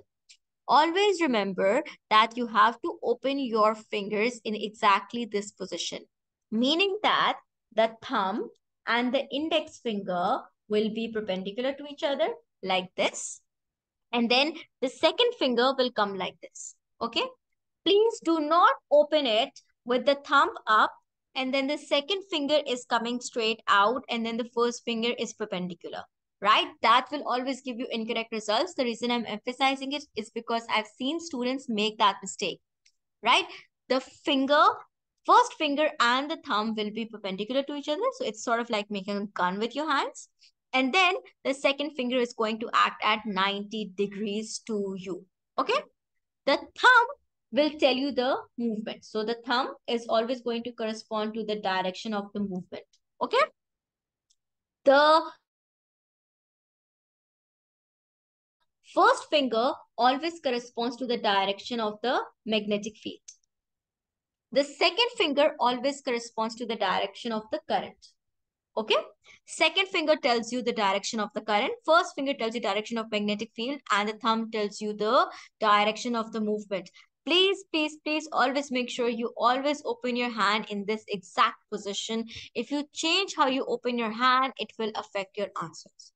Now, if I go ahead and consider the diagram that is with me, let's see if we can figure out exactly what is the direction of the current that is being produced. Okay? Do this with me. Please, while I'm doing it, do it with me. For the generator, we always use the right hand. What are you guys going to remember? For the generator, we always use the right hand. What are you going to do? Open up your hand in exactly the position I showed you. Thumb upwards. The first finger is going to be uh, at uh, pointing straight out. And the second finger is going to be bent at 90 degrees. Okay. After you guys have opened your hand like this, what are you going to do? we are going to take a look at the movement okay so over here you can see that we are dealing with uh, our clockwise movement okay so in a clockwise movement, this is what a clockwise movement looks like, right? So this side is going up and this side is going down, right? That's what a clockwise movement is. The we're going in the same direction as the clock. Okay. So this is how the coil is rotating in the magnetic field. Let's talk about how the current is being induced. So this is pointing upwards. So what are we going to go ahead and do? We are going to point our thumb upwards. Then we have the magnetic field. The magnetic field is going from north to south. So it's going towards the other side, right? It's going towards the right side. So you'll have to move your hand uncomfortably a bit, but thumb is pointing upwards. Your second finger, right? Your um first finger should be pointing towards the south pole. Thumb will be pointing upwards. First finger is going to point towards the south pole. So your second finger, where is it pointing? It is pointing into your screen. Your second finger should be pointing into your screen. So the current is going to be going this way, right? And you can confirm by taking a look at the other side. At the other side, your thumb is going to point downwards, okay? Your first, your uh, your um, first finger is going to point towards the right side. So you will have to move your hand quite uncomfortably, but your finger should be pointing out of the screen, right? Since your finger is going to be pointing out of the screen, so what is going to happen? The current is traveling this way. So you guys should be able to take a look at a generator one, explain the principle of the generator. So the principle of the generator is that as the coil rotates within the magnetic field lines, it's going to cut the magnetic field lines and a voltage is going to be induced. As the voltage is going to be induced, what is going to happen? That your you can figure out the direction of the current by using Fleming's left hand rule. This is the principle behind a generator. Now, we also have motor. A motor is opposite to a generator. In a generator, I am moving the coil and I am getting, as a result, electricity. In a motor, I will use an electricity to move the coil. Okay, so I have electricity. I'm going to be moving the coil. Okay. Now, in a motor, what exactly do you need to know? We can solve or we can figure out the direction of movement of a motor. I can tell exactly how a motor is going to move by using Fleming's left-hand rule. So right-hand rule and left-hand rule are exactly the same. They are both exactly the same. There are no differences except for the hand that you're using, right? So same thing, your thumb is going to be the movement your first finger is going to show you the direction of the magnetic fields. And your um, uh, second finger is going to show you the direction of the current. Okay. Now, this is though with your left hand. So please remember, right hand is for generator, left hand is for motor. So we know that the current, flow of current, conventional current is from positive to negative, right? Conventional current. We know that electrons go from negative to positive, but conventional current is from positive to negative. So what are you going to go ahead and do? You are going to uh, you are going to take a look at your magnetic field first. Your magnetic field is going from north to south, right? So your first finger, remember, now you're using your left hand. Your first finger should point to the south pole. Then you need to point your second finger. Your second finger is pointing towards the screen. Okay. Your arrow is going into the screen. So your first finger will point to the right side, uh, uh, to the, sorry, the, this is sort, uh, one second. Let me just correct the direction of the magnetic field.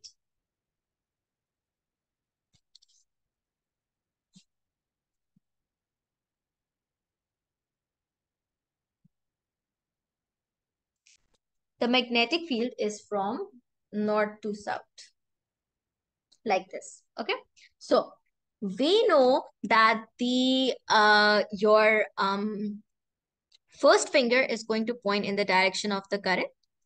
Your second finger is going to, uh, sorry, the first, the second finger is going to point in the direction of the current. So that is into the paper, okay? Your first finger is going to point north to south. So point your first finger north to south first, point it in the, towards the right direction. Your second finger is going to go into the paper. So you will have to flip your hand. You'll flip your hand. Your second finger is going to go into the paper. Your first finger is going to point from north to south. So your thumb is now pointing downwards. So this side will experience a downward force. Similarly, let's take a look at this side. In this side, the current is coming out of the page. Okay. So first finger again goes from north to south. The second finger will point towards you. It's coming outside and the thumb will point upwards. So in this case, you can see this side will experience a downward force.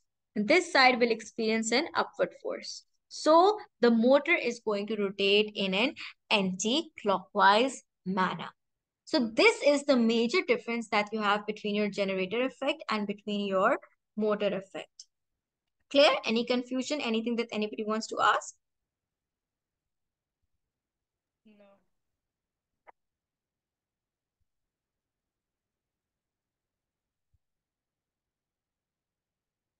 Any questions, any queries, any part that is not making sense? No. Okay, all right. Now, another really important thing that you guys should know is your transformers, right?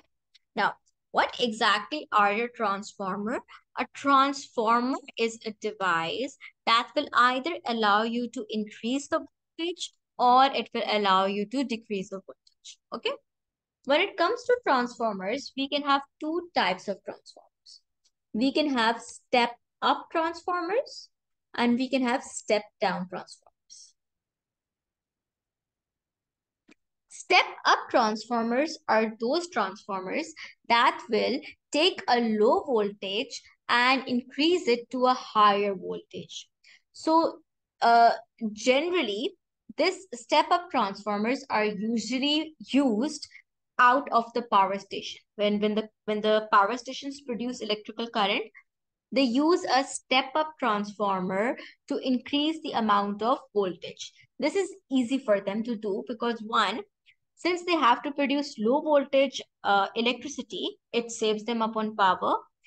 And secondly, by using a step-up transformer, they can turn it to a higher voltage electrical current. The reason you want it to be at a higher voltage is to minimize uh, minimize um, energy wasted. They don't want there to be any energy wasted as the electrical current travels through the long power lines.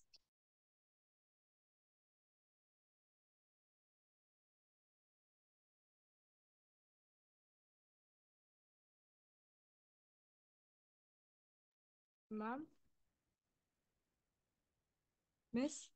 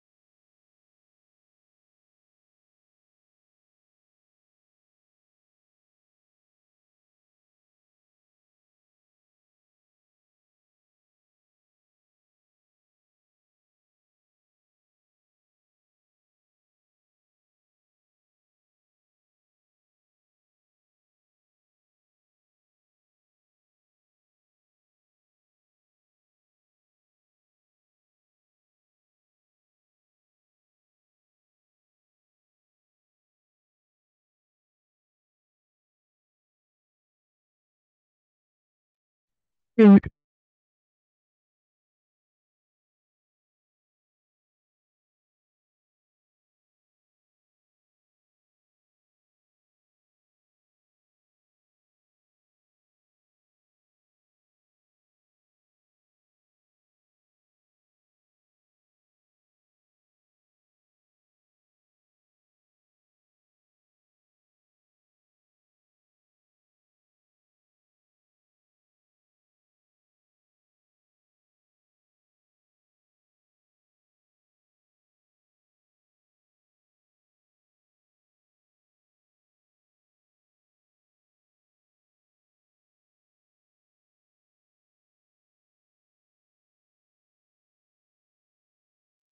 Sorry, guys, I got disconnected. Okay. So we can have step-up transformers and we can have obviously our step-down transformers. Okay. Now, when uh, we are going to go ahead and we are going to talk about it, how does a transformer actually work? What's the principle behind it? So the transformer generally involves a iron piece of iron. We call it an iron core. And it is going to be wrapped up with uh, two pieces of iron. Okay. One, one side is known as the primary coil, while the other side is known as your secondary coil. So we have the primary coil and we have the secondary coil. Now, what happens that as the electricity will pass through the primary coil, it will produce a magnetic field. And as it will produce a magnetic field, that magnetic field will pass through the transformer right? It's going over and reach the secondary coil. Now, when the magnetic field will reach secondary magnetic field lines, and whenever the wire is going to cut the magnetic field lines, what is going to happen? Voltage is going to be induced. Okay, so we have our primary coil and our secondary coil. The primary coil is, so remember this, that when we talk about the primary coil, so in cases of primary coil, as the primary coil will produce electricity, it will also produce a magnetic field. That magnetic field is going to go ahead and uh, uh, pass through the iron core to the secondary coil and as it passes on to the secondary coil, the secondary coil will cut the magnetic field lines and in the process, voltage will be induced in the secondary coil. Okay. Now, when it comes off to the concept, how does a step-up transformer work? How does a step-down transformer work? The concept is this. In a step-up transformer, the secondary coil has a large number of turns. The wire, the number of turns of the wire are really high compared to the primary coil, right? This is what it looks like. The number of turns of the primary coil will be less. The number of turns of the secondary coil will be more. So the voltage induced in the secondary coil will be greater. In a step-down transformer, the primary coil will have a greater number of turns and the secondary coil will have a less number of turns. So the voltage will decrease. So the voltage that is being induced depends upon the number of turns of the wire. Okay. What does that mean? That means that we have an equation. This is the equation the voltage induced in the secondary coil multiplied by voltage induced in the primary coil is equal to the number of turns of the secondary coil multiplied by number of turns of the primary coil. Or we can rearrange it like this. The voltage in the secondary coil divided by the number of turns in the secondary coil is equal to voltage in the primary coil divided by number of turns of the primary. Okay. So this is the formula that you guys can use to find out what will be the voltage in the secondary coil based on the number of turns. So in your topic of uh, electromagnetic induction, you guys have to be able to explain what Faraday's law is. You guys have to be able to explain exactly what electromagnetic induction is. How does a generator work? How does um, motor work? And how you can do calculations related to the topic of transformer. Uh, any question? Would anybody like to ask anything? Is everything making sense? Ma'am, Yes, go on. can you can you just briefly go over the left hand rule once again, if that's not too much to ask? Yeah, yeah, definitely, definitely. Okay, so when we talk about your left hand rule, right? So left hand rule and right hand rule are actually exactly the same. The difference is which hand you are going to be using, right?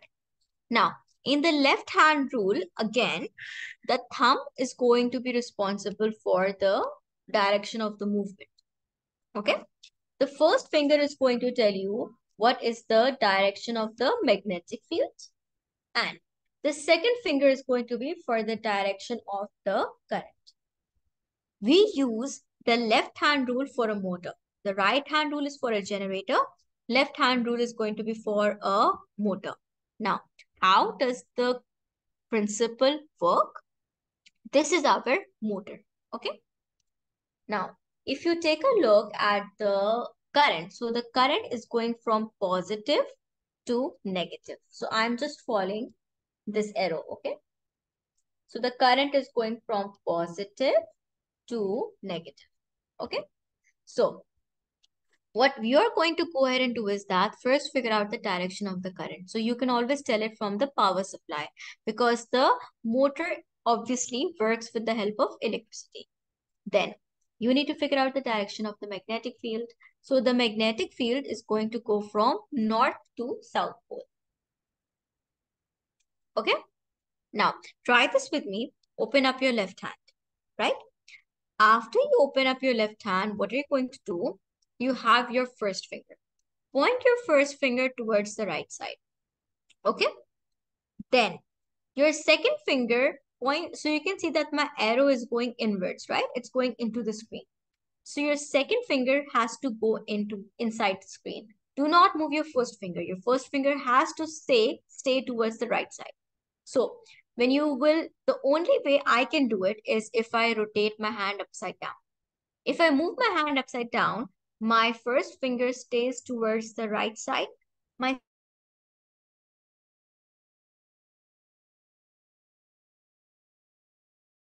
is going to be pointing downwards. So this side of the coil, this side of the coil, this side will experience a downward force. Then this is the opposite side. In the opposite side, again, take your left hand. The first finger points towards the direction of the magnetic field. So magnetic field is towards the right. So first finger will point towards the right side. The second finger points towards the direction of the current. The current arrow is pointing towards you. It's coming out of the screen. So second finger will point towards you. First finger will point towards the right side. So arrow is going to point upwards. So this side of the coil will experience a downward force. This side of the coil will experience upward force. And as a result, what is going to happen?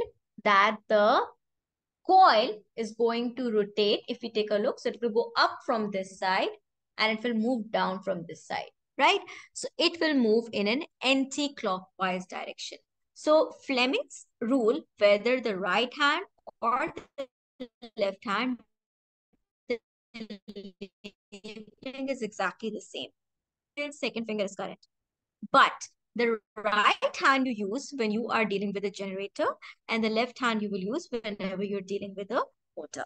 Uh, is that a bit more clear now? I hope it's making a bit more sense than before. Yes, ma'am. Thank you. Uh, any questions? Anything that you guys want me to go over again? Let me know.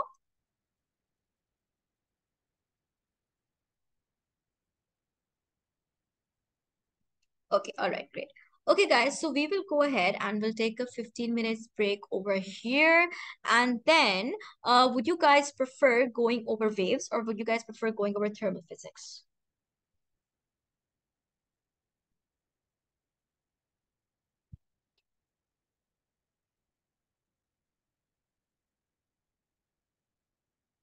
Or would you guys prefer going over any other topic, general physics? What would you guys prefer? Any preference?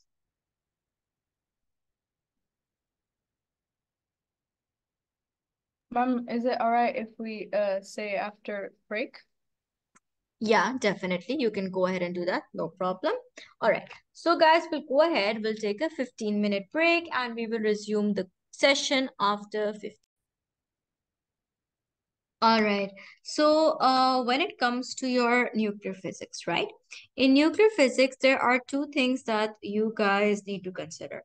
One is, of course, the topic of fusion and fission, right? So nuclear fusion and nuclear fission. And then we, it is also related to the concept of radioactivity, radioactive decay. So when uh, we'll take a look at both of them. When we talk about our radioactivity, right? Let's talk about what exactly is radioactivity. Why is it that some uh, substances, some atoms are, uh, uh, you know, go, are going to be radioactive while some of them are not? Now, when you talk about inside an atom, right? Inside an atom, what happens that you have different forces that are present. For example, the nucleus is experiencing an attractive force towards the electrons. On the other hand, the electrons are repelling each other. So, so there, there are these forces that are present inside an atom. And these forces are normally balanced, which makes the atom stable. And similarly, inside the nucleus itself, you have a lot of protons, you have a lot of neutrons. Neutrons, okay, fine, they do not carry a charge, but protons carry a positive charge, right? So they uh, inside the nucleus as well, you've got multiple forces that are acting. Now, for a nucleus to be stable, all of these forces need to be balanced out. But in some cases, there can be a imbalance of those forces. For example, if we are dealing with a isotope, right? Isotopes are atoms that have the same number of protons but different number of neutrons. Please keep in mind that number of protons will remain the same. Okay. If the number of proton changes, the element will change. So proton is sort of the identification number of the atom. So it has the same number of protons, but different number of neutrons. Okay. So what happens that due to having different number of neutrons or not just because of different number of neutrons due to other reasons as well the nucleus of an atom can become unstable. Okay. So if the nucleus of an atom becomes unstable, because like I said, we have different forces acting inside the nucleus. Okay. So everything is balanced. But when the number of neutron becomes different, like for example, in an isotope, what happens that the balance is disrupted and as a result, the nucleus is no longer stable. It's an unstable nucleus. And since it is unstable, it will start to break down and it will start to decay. All right. Now, that decay, the breakdown of nucleus is what we call as radioactivity. There are two things you guys have to understand about radioactivity. Radioactivity is random and spontaneous. What do we mean by spontaneous and random? That we cannot predict when radioactivity will start. You cannot, I cannot look at radioactive material and tell you this material is going to start producing radioactive particles within one year. No, you cannot tell exactly when it is going to start decaying, right? So it's spontaneous. It happens by itself and it's completely random. But we can predict uh, that once radioactive decay starts, how will it happen? How long, how, how, how will the decay occur? That we can predict, right? Now, first of all, let's talk about how does radioactive decay occur. Radioactive decay occur with the production of uh, three types of, or basically you guys are studying three types. There can be more as well. Three types of uh, particles, okay? Not particles, but um, uh, it can decay in three possible ways, okay? Now, the nucleus can either decay to give you an alpha particle or it can decay to give you a beta particle or it can decay to give you your gamma radiation. Your gamma radiation is an electromagnetic wave. All right. Now, when the when we talk about alpha radiation, what is an alpha particle? An alpha particle is a particle that has four is the total mass number. It has two protons and two neutrons. Okay.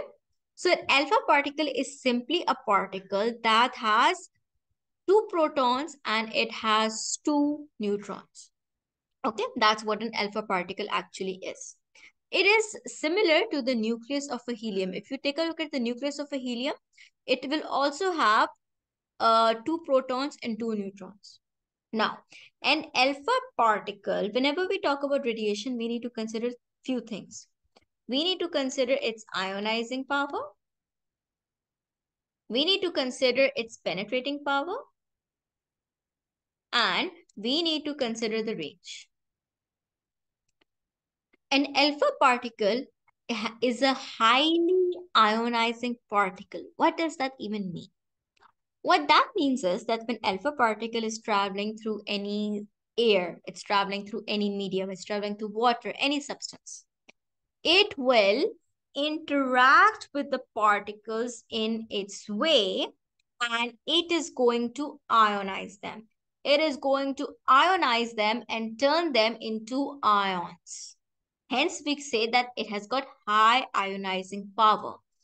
But since it is going to be interacting with all the particles in its path, it's going to be ionizing them. It's going to be turning them into ions. It will lose energy, right? When it's going to be interacting with all those particles, it's going to be losing energy in the process. If it's going to lose energy in the process, what is going to happen? It will slow down and it will stop. So, alpha particles, when it comes to ionizing power, they have high ionizing power. But their penetrating power is quite low. Why? Because obviously they are not able to travel that far. You put even a single piece of paper in front of them, it's more than enough to stop. A single piece of paper is more than enough to stop the alpha radiation exactly in its path. Why? Because it will instantly lose all its energy and stop moving.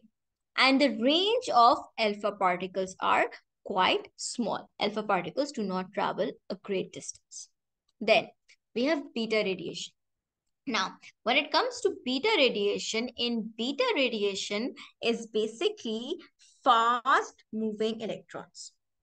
We have fast moving electrons and those fast moving electrons are the are basically what we consider to be our beta particles. Okay, so when a nucleus breaks down and after breaking down, it releases a fast moving electron that is known as beta radiation. Okay, a beta particle has a mass of zero and it has a charge of minus one because it does not have any protons, right? It has one electron. So it has a charge of minus one. When it comes to ionizing power, so beta particle is less ionizing compared to alpha particle. Alpha particle has very high ionizing power. Beta particle has somewhere in the middle. It, it's less than alpha particle. It has less alpha uh, ionizing power than your alpha particles, right? And when it comes to penetration, so a beta particles can penetrate a greater um, a greater distance than alpha particles. So, for example, a beta particle will easily pass through a piece of paper, but it can be stopped with a sheet of aluminium. Okay, so it's moderate. It has moderate ionizing power. It has moderate penetrating power. It can penetrate through a piece of paper, but not through a sheet of aluminium. And it has moderate range. Now, when it comes to gamma radiation, so gamma radiation is not a particle, it's an electromagnetic wave. And since it is an electromagnetic wave, obviously it does not have any mass and it does not have any charge. It does not interact with the pathway, uh, elect with the substances in its pathway, right? It does not interact with them. It's not going to interact with any atoms. It's not going to interact with any molecules. It will just keep minding its own business. So what is going to happen that they are weakly ionizing. They're not going to interact with any atoms. They're not going to be ionizing any atoms. They're simply going to be traveling through without any interaction whatsoever. So obviously, since they're not interacting with any particles, they will not lose their energy as well. So they can penetrate through almost every material and they have a very long range. You need something really thick like lead to stop them from passing through. Now, another important thing that you guys should be able to do, and this is related to Fleming's uh, uh, hand rule as well, okay? Another thing that you guys should know is what happens when I take alpha, beta, and gamma particles and I put them in magnetic field and in electrical field. Now, in electrical field, it is quite easy to understand. If I take an L, it will move towards the negative plate. Why? Because alpha particle is positive and the plate is negative. So it is going to be attracted. other hand, when we talk about the beta particle, the beta, so it is going to be attracted towards the positive plate. Now, notice something quite interesting. Do you see how the alpha particle has a small curved pathway, but the beta particle has a wide curved pathway, right? If you take a look at the curve, so beta particle has a different curve. Alpha particle has a smaller curve. The reason for that is because alpha particle has a charge of 2 plus because it has 2 protons. So it has a charge of 2 plus. Beta particle has a charge of minus 1. So since alpha particle has a greater charge, it experiences a greater force. So it will curve more. Okay. Gamma particle, on the other hand, will pass through the electrical field without any deviation. Then we can also take alpha, beta, and gamma particles and put them into a magnetic field. What is going to happen? For over here now, you have to use your Fleming's rule. Okay? Tell me one thing. Take a look at the information we have. We have magnetic field and we have uh, charged particles that are moving. Should I use left hand rule or should I use right hand rule? What should I use? What do you guys think? Left hand. Yes, you'll use the left hand rule because you have a charge particle that's moving, that's current, okay? And you have the magnetic field. We want to find out the direction of the force, so we will use left hand rule, okay? Now, let's try for the alpha particle. Open your hand in exactly the way I taught you guys. Your first finger is going to be pointing. Uh, your first finger is going to be pointing towards your screen, right? Because the magnetic field is acting into the page. So we're going to point it towards into the page, okay? Now, your second finger. Where should you point your second finger? Towards the right or towards the left? What do you guys think?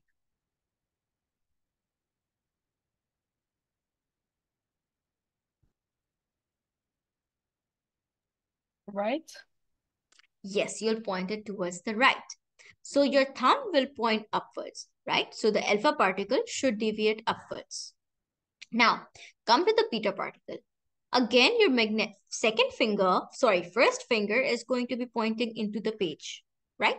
Because the magnetic field is into the page. What about your second finger? Should your second finger point towards the right or the left?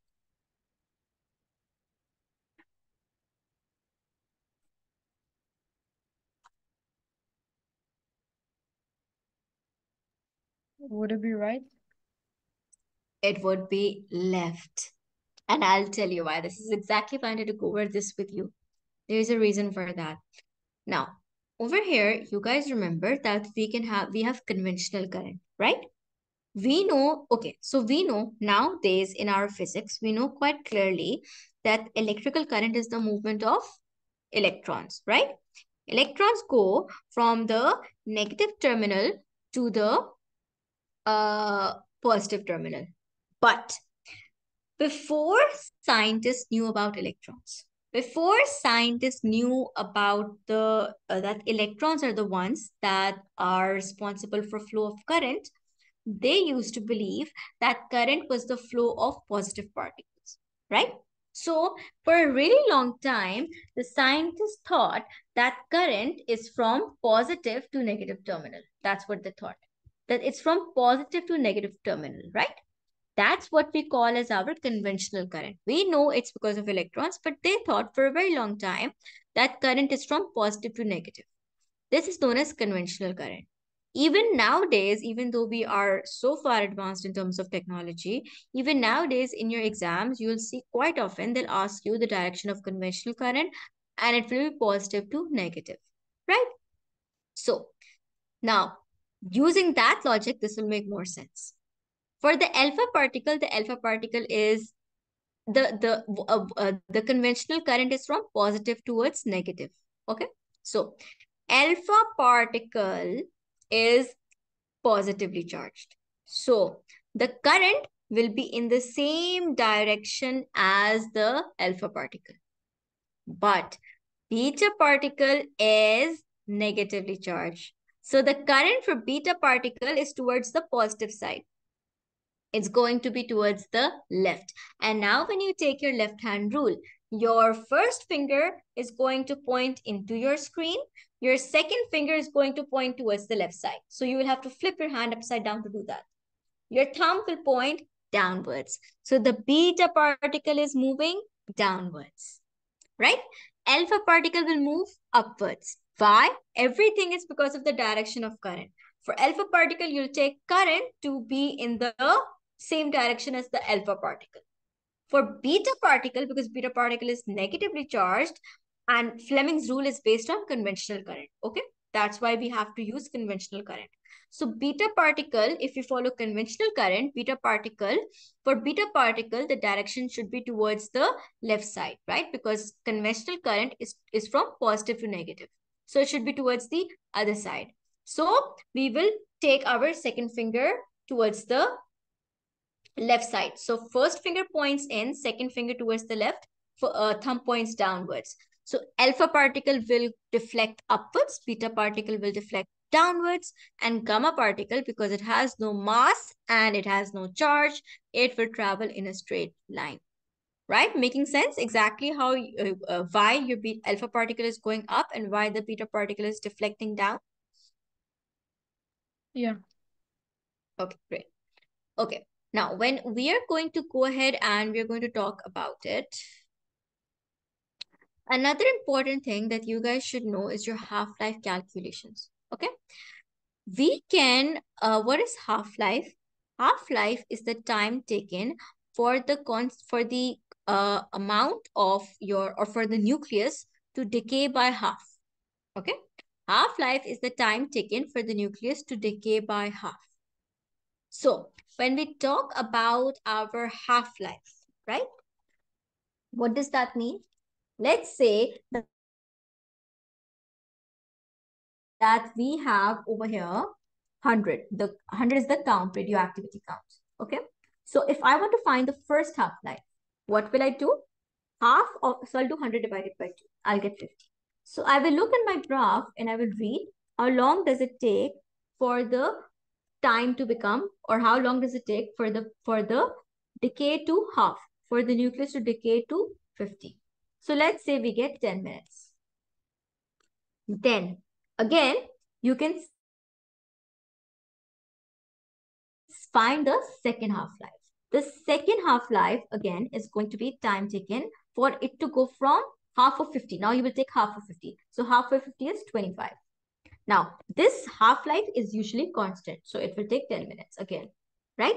Then for the third half-life, you will now do half of 25. So 12.5. And that's how you are going to go ahead and do your half-life calculations. Now, if you take a look at the curve, you'll see that the curve we're getting, this is known as an exponential curve. What is an exponential curve? An exponential curve is a mathematical curve that almost never touches, it does, it, it, it does not touch zero. That is the reason why it is really, really, really, really hard to tell when radioactivity will stop. Because even if the amount of radioactivity is 0 0.0001, it can still decrease by half and become 0 0.00005, right? So it's a curve that technically never really touches zero. It will get very close to it, but it doesn't touch zero. So same thing is true for radioactivity. We can never tell when you reach zero, right? Now, uh, this is the kind of questions you guys are going to encounter in your past papers. The activity of a sample uh, is found to be 200. If the isotope has a half-life of 20 minutes, what will the activity of the sample be after one hour? Okay, so let's find out. We know that the initial activity is 200. From 200, if we do half, we get 100, right? This will take 20 minutes. Then, from, again, if we uh, continue, right?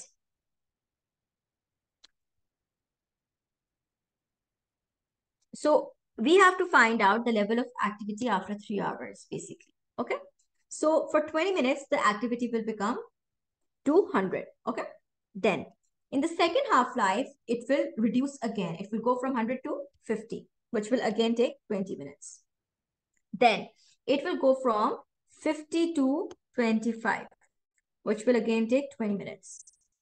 So, so far, we are at 60 minutes, right? This is in one hour. In one hour, it has come down to 25. Then let's resume from 25. From 25, half of 25 is 12.5. This will again take 20 minutes. Then the the in another 20 minutes, the concentration is, or I'm saying concentration, excuse me, the count is going to half again, right? So it will be 12.5 divided by 2, 6.25. This will take another 20 minutes. Then after 6.25 again, if we go ahead and divide by 2, we get 3.125. So after another 20 minutes, it will be at 3.125.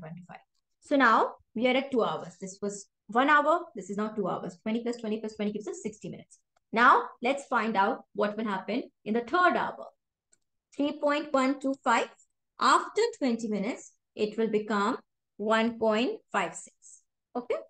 Then after another 20 minutes, it's going to be 0 0.78. After another 20 minutes, you will get 0 0.39, right?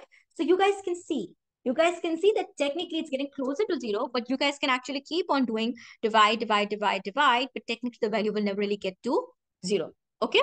So after, you can take a look that after your three hour amount, it has gone from a count of 200 to a count of 0 0.39. So that is how you're going to be uh, so that is how you're going to be solving questions related to your half-life calculations.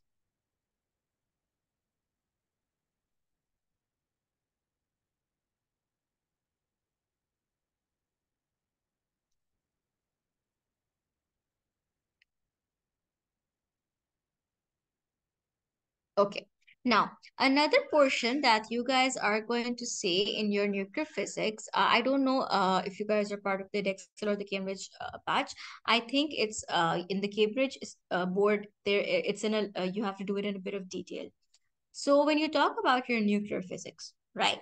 In your nuclear physics, okay, this is something very interesting. You guys must have heard of this equation before, right? E is equals to mc squared.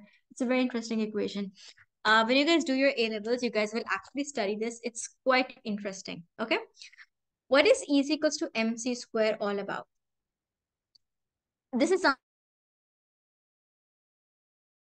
something that's not a part of your syllabus, but it's something, if you guys like physics, you'll enjoy studying about it. Uh, Einstein has basically stated that if you take your particles and you accelerate them to the speed of light. Okay. So what happens that energy and mass are interconvertible. What does that mean? That means, so uh, uh, what that basically means is that if uh, uh, you uh, take a particle and you accelerate it, you increase the speed to the speed of light. Okay. So you might notice that the mass has decreased. Why? So, so that was the scientists were wondering, why is the mass decreasing? Why, why is it that the mass is decreasing? So the reason the mass was decreasing is because the mass of the object was converting into energy. Right? So that is what Einstein's equation state that particles, when they travel at the speed of light, the energy can convert into mass and mass can convert into energy. So in if I if I uh, so in some uh, so uh, uh, that would explain because the uh, question that the scientists were wondering was that when nuclear fission or nuclear uh, fusion would occur, they would sometimes get particles that were larger in size or smaller in size. So they wanted to understand this. So Einstein was the one who found out that when you take particles, you put them to the speed of light. So the mass of the particle can actually convert into energy or the energy of the particle can actually convert into the mass of the particle. So that is what this equation is actually about. Energy is equals to mass multiplied by the speed of light squared. Now, you uh, uh in A levels, I teach this topic in a lot of details. So uh, you guys will study it uh, when you do your A levels. Now, there are two things that you guys need to know about in nuclear physics. That's nuclear fusion and nuclear fission. What is nuclear fission? Nuclear fission is the breakdown of a large nucleus into smaller nucleus. Okay, you take a large nucleus and you break it down into smaller nucleus. That is what we call as our fission. Okay, nuclear fission is something that we can easily do in our uh, nuclear power plants. How do we actually do it? So we generally use uh, uh, uranium-235 for this. We take uranium-235 and in the uranium-235, what we normally do is that we shoot a neutron at it. Like we literally shoot it, a neutron towards the uranium-235. What happens that when the uranium neutron hits the nucleus of the uranium, the uranium nucleus becomes unstable. Because it becomes unstable, it breaks. And as it breaks, it will give you, for example, it will give you two smaller nuclei. And along with that, it will produce two more neutrons. And it will also go ahead and give you la large amount of energy. Now, again, why is it that breaking of a uranium is giving you energy that is again related to your, uh, you guys will study in A-levels in detail. Exactly why is it that breaking of a uranium nucleus gives energy? But breaking of a uranium uh, nuclei gives you your uh, two small nuclei and it produces large amounts of energy.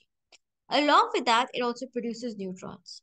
These two neutrons will then go ahead and attack two more uranium nuclei. Those uranium nuclei will break down and more neutrons will be produced.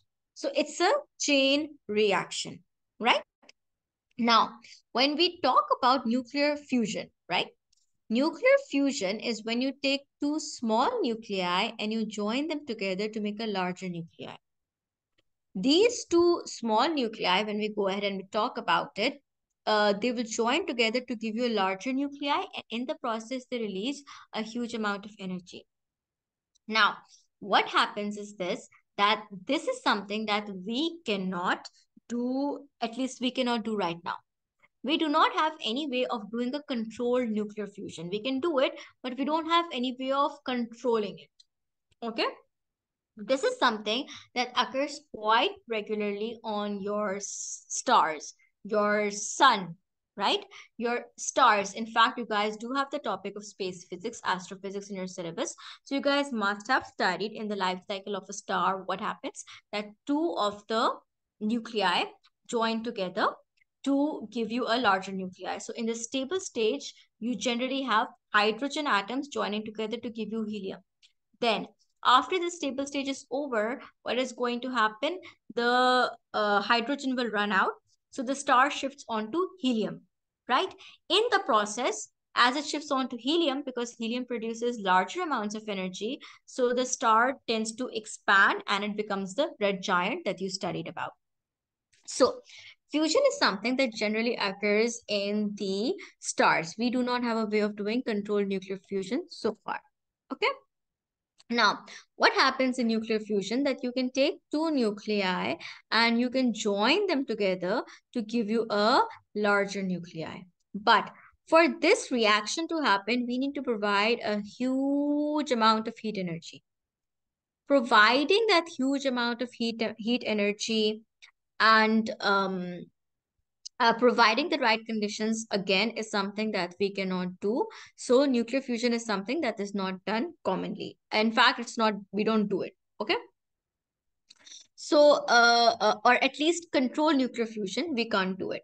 So nuclear fission is the one that is actually used for your uh, production of nuclear energy and that is all you guys need to know regarding your topic of nuclear physics. So now let's go ahead and do one thing. Let's go ahead and take a look at a few questions. Just generally, let me go over some tips and tricks of how you guys are going to go about solving your questions. Okay let's go ahead and take a look at that. What kind of questions will you see in your past papers and how can we go ahead and how can we solve them?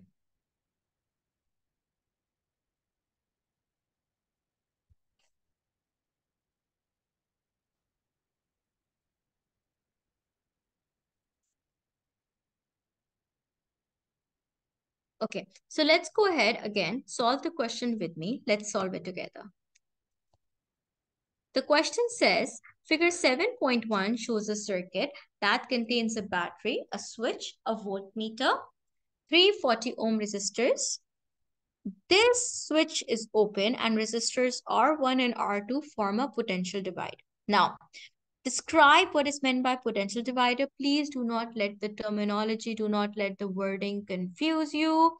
It is nothing uh, that you guys do not know. A potential divider circuit is simply a circuit that is connected in series with each other. So if I take uh, two resistors and I connect them in series with each other, you guys know in a series circuit, voltage is divided. So that is exactly what is happening over here. Okay. In a potential divider circuit, you have two resistors that are arranged in series with each other. And since they are arranged in series with each other, so the voltage is going to be divided across the two resistors. So that is a potential divider circuit. Simply put, it is when you have two resistors connected in series with each other and the voltage is divided across the two resistors. Then, if we take a look at what they're asking next, they're saying the reading on the voltmeter is 7.5 volts. Calculate the EMF of the battery. Would you like to, uh, would somebody like to attempt it? What do you guys think? How can I figure out the EMF of the battery? This is the information. By the way, this is just for one mark, so it's a pretty easy question. What do you guys think? What will I do that will allow me to calculate the EMF of the battery?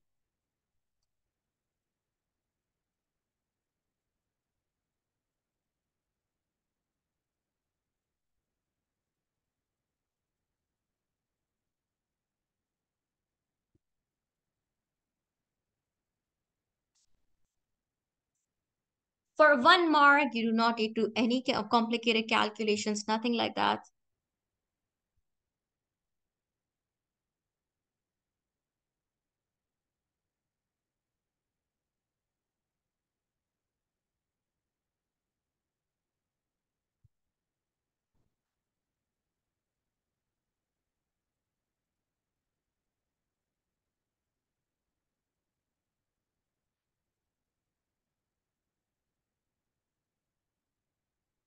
Okay, so you guys, can you see that over here, we have these two resistors, right? They're connected in series with each other. So you know that the voltage is going to be divided, right? We don't have to worry about R3 and R2 because they are in parallel. So since R3 and R2 are in parallel with, with each other, the voltage will remain the same. So we have to worry about R1 and R2. Now, the good thing is that all three resistors have the same resistance. They both have 40 ohm resistance. Okay. So if the current in R1 is 7.5, right? The current in the R2 resistor will be the same. It will also be 7.5. Okay. So 7.5 plus 7.5 gives you a total of 15 volts. Right? So the EMF of the battery is simply put 15 volts. Then they're saying the switch is closed. Calculate the resistance of the complete circuit. Okay. So let's calculate total resistance. What do you guys think? How should we go ahead and calculate the total resistance? First thing is first. You can see that these two resistors are in parallel to each other. The major circuit, the bigger circuit is the series circuit. Okay. These two resistors are in parallel to each other. So what are we going to do? We are going to take, first thing is first, solve the small circuit, solve the parallel circuit. So you will do 1 upon 40 plus 1 upon 40. So that's going to give you the value of 20, right? 1 upon 40 plus 1 upon 40 gives you 2 upon 40. And if you reciprocate it, because remember, this is the answer for 1 upon r, you'll get 40 upon 2, which gives you 20. Now, this combined is 20 ohms. Now you can solve the series circuits. So 20 plus 40 ohms is going to give you a total of 60 ohms.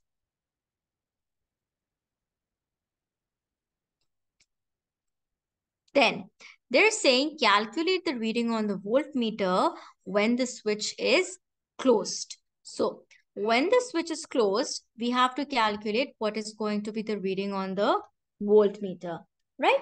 So uh, uh, when we go ahead and we're going to talk about it, let's see if we can figure it out. What should be the reading on the voltmeter when this switch is closed? Now, when the switch is closed, you can say, miss, it should not make any difference because the volt R3 and R2 are in parallel with each other. They resist, the, the voltage should be the same. Now, the problem that will happen is that when I close the switch, the resistance of this side will increase, right? Because now the resistance of R3 is also there. So resistance of this side is going to increase. Initially, if I don't close the switch, the resistance is only 40 ohms, right? But when I close the switch, the resistance decreases to 20 ohms. So that will affect the voltage that is going through R2. So how are we going to go ahead and how are we going to figure this out? Now, the way you're going to uh, go ahead and you are going to figure this out is you guys know that you guys know that the current is the same, right? You guys know that the current is going to be the same. So we know, let's say voltage in resistor 1 is equals to current multiplied by resistor 1. Voltage in resistor 2 is equal to current multiplied by resistor 2. We can rearrange the equation to make current the subject. So V1 upon R1 is equals to I and V2 upon R2 is equal to I. Okay. So current is the same. So we can make them both equal to each other. V1 upon R1 is equals to V2 upon R2. So now we can go ahead and we can calculate the value. Right? So uh, we know that our R2 is 20 ohms and one second. Mm. We know that our R2 is 20 ohms, right? So let's write down 20 upon V2 is equals to V1 and R1, the resistance is 40. So let's take out the ratio V1 upon V2, cross multiply, right? So V1 upon V2 is equals to 40 upon 20 or V1 upon V2 is equals to 2. So you know that the voltage going in V1 is twice the voltage going in R2, right? The voltage going to resistor 1 is 2 times the voltage going to resistor 2. So now what are we going to go ahead and do? One second, let me make some space. We know that the total EMF is, we what did we calculate? That the EMF of the battery is 15, right? So, uh, we are going to go ahead and calculate. So, let's say that the uh, voltage going to resistor R, R2 is X, right? Now, remember we got a ratio of 2, 2 upon 1. V1 is 2 times V2. So if this is X, this must be 2X. In a series circuit, if we add up the voltage, it should be equal to the total voltage. So X plus 2X is equals to 15. 15 is the EMF of the battery. 3X is equals to 15. X is equal to 5. So the voltage going to R2 is 5 and the voltage going to R1 is 2 5s are 10. So we managed to calculate it for both R1 and R2. They asked us to calculate for R1, but I calculated for R2 as well to show you guys how we approach questions like this. Okay, so this is how you guys are going to go ahead and solve your questions. Any part that did not make sense, any confusion, anything that you guys want to ask?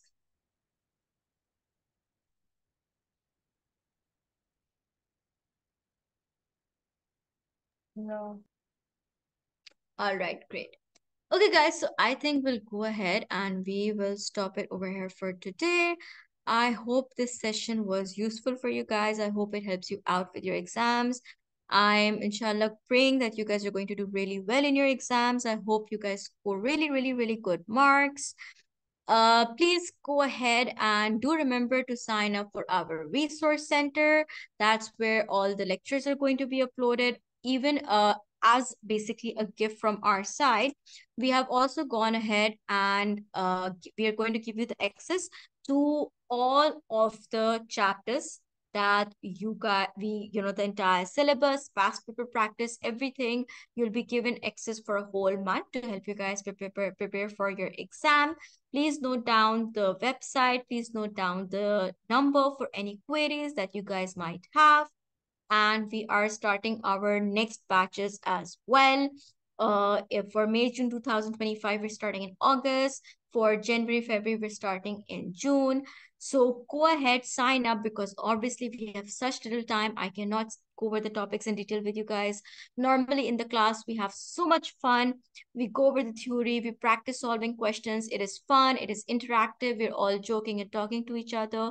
So I really hope I'll see you guys again for my uh, sessions that are starting soon for A-level exams and we have very limited seats. We only take three students per batch, so we don't take more than that. So we have very limited seats. So I really hope you guys will join up. And best of luck from my side for your exams. Inshallah, inshallah, inshallah. I know you guys are going to do a very, very good job.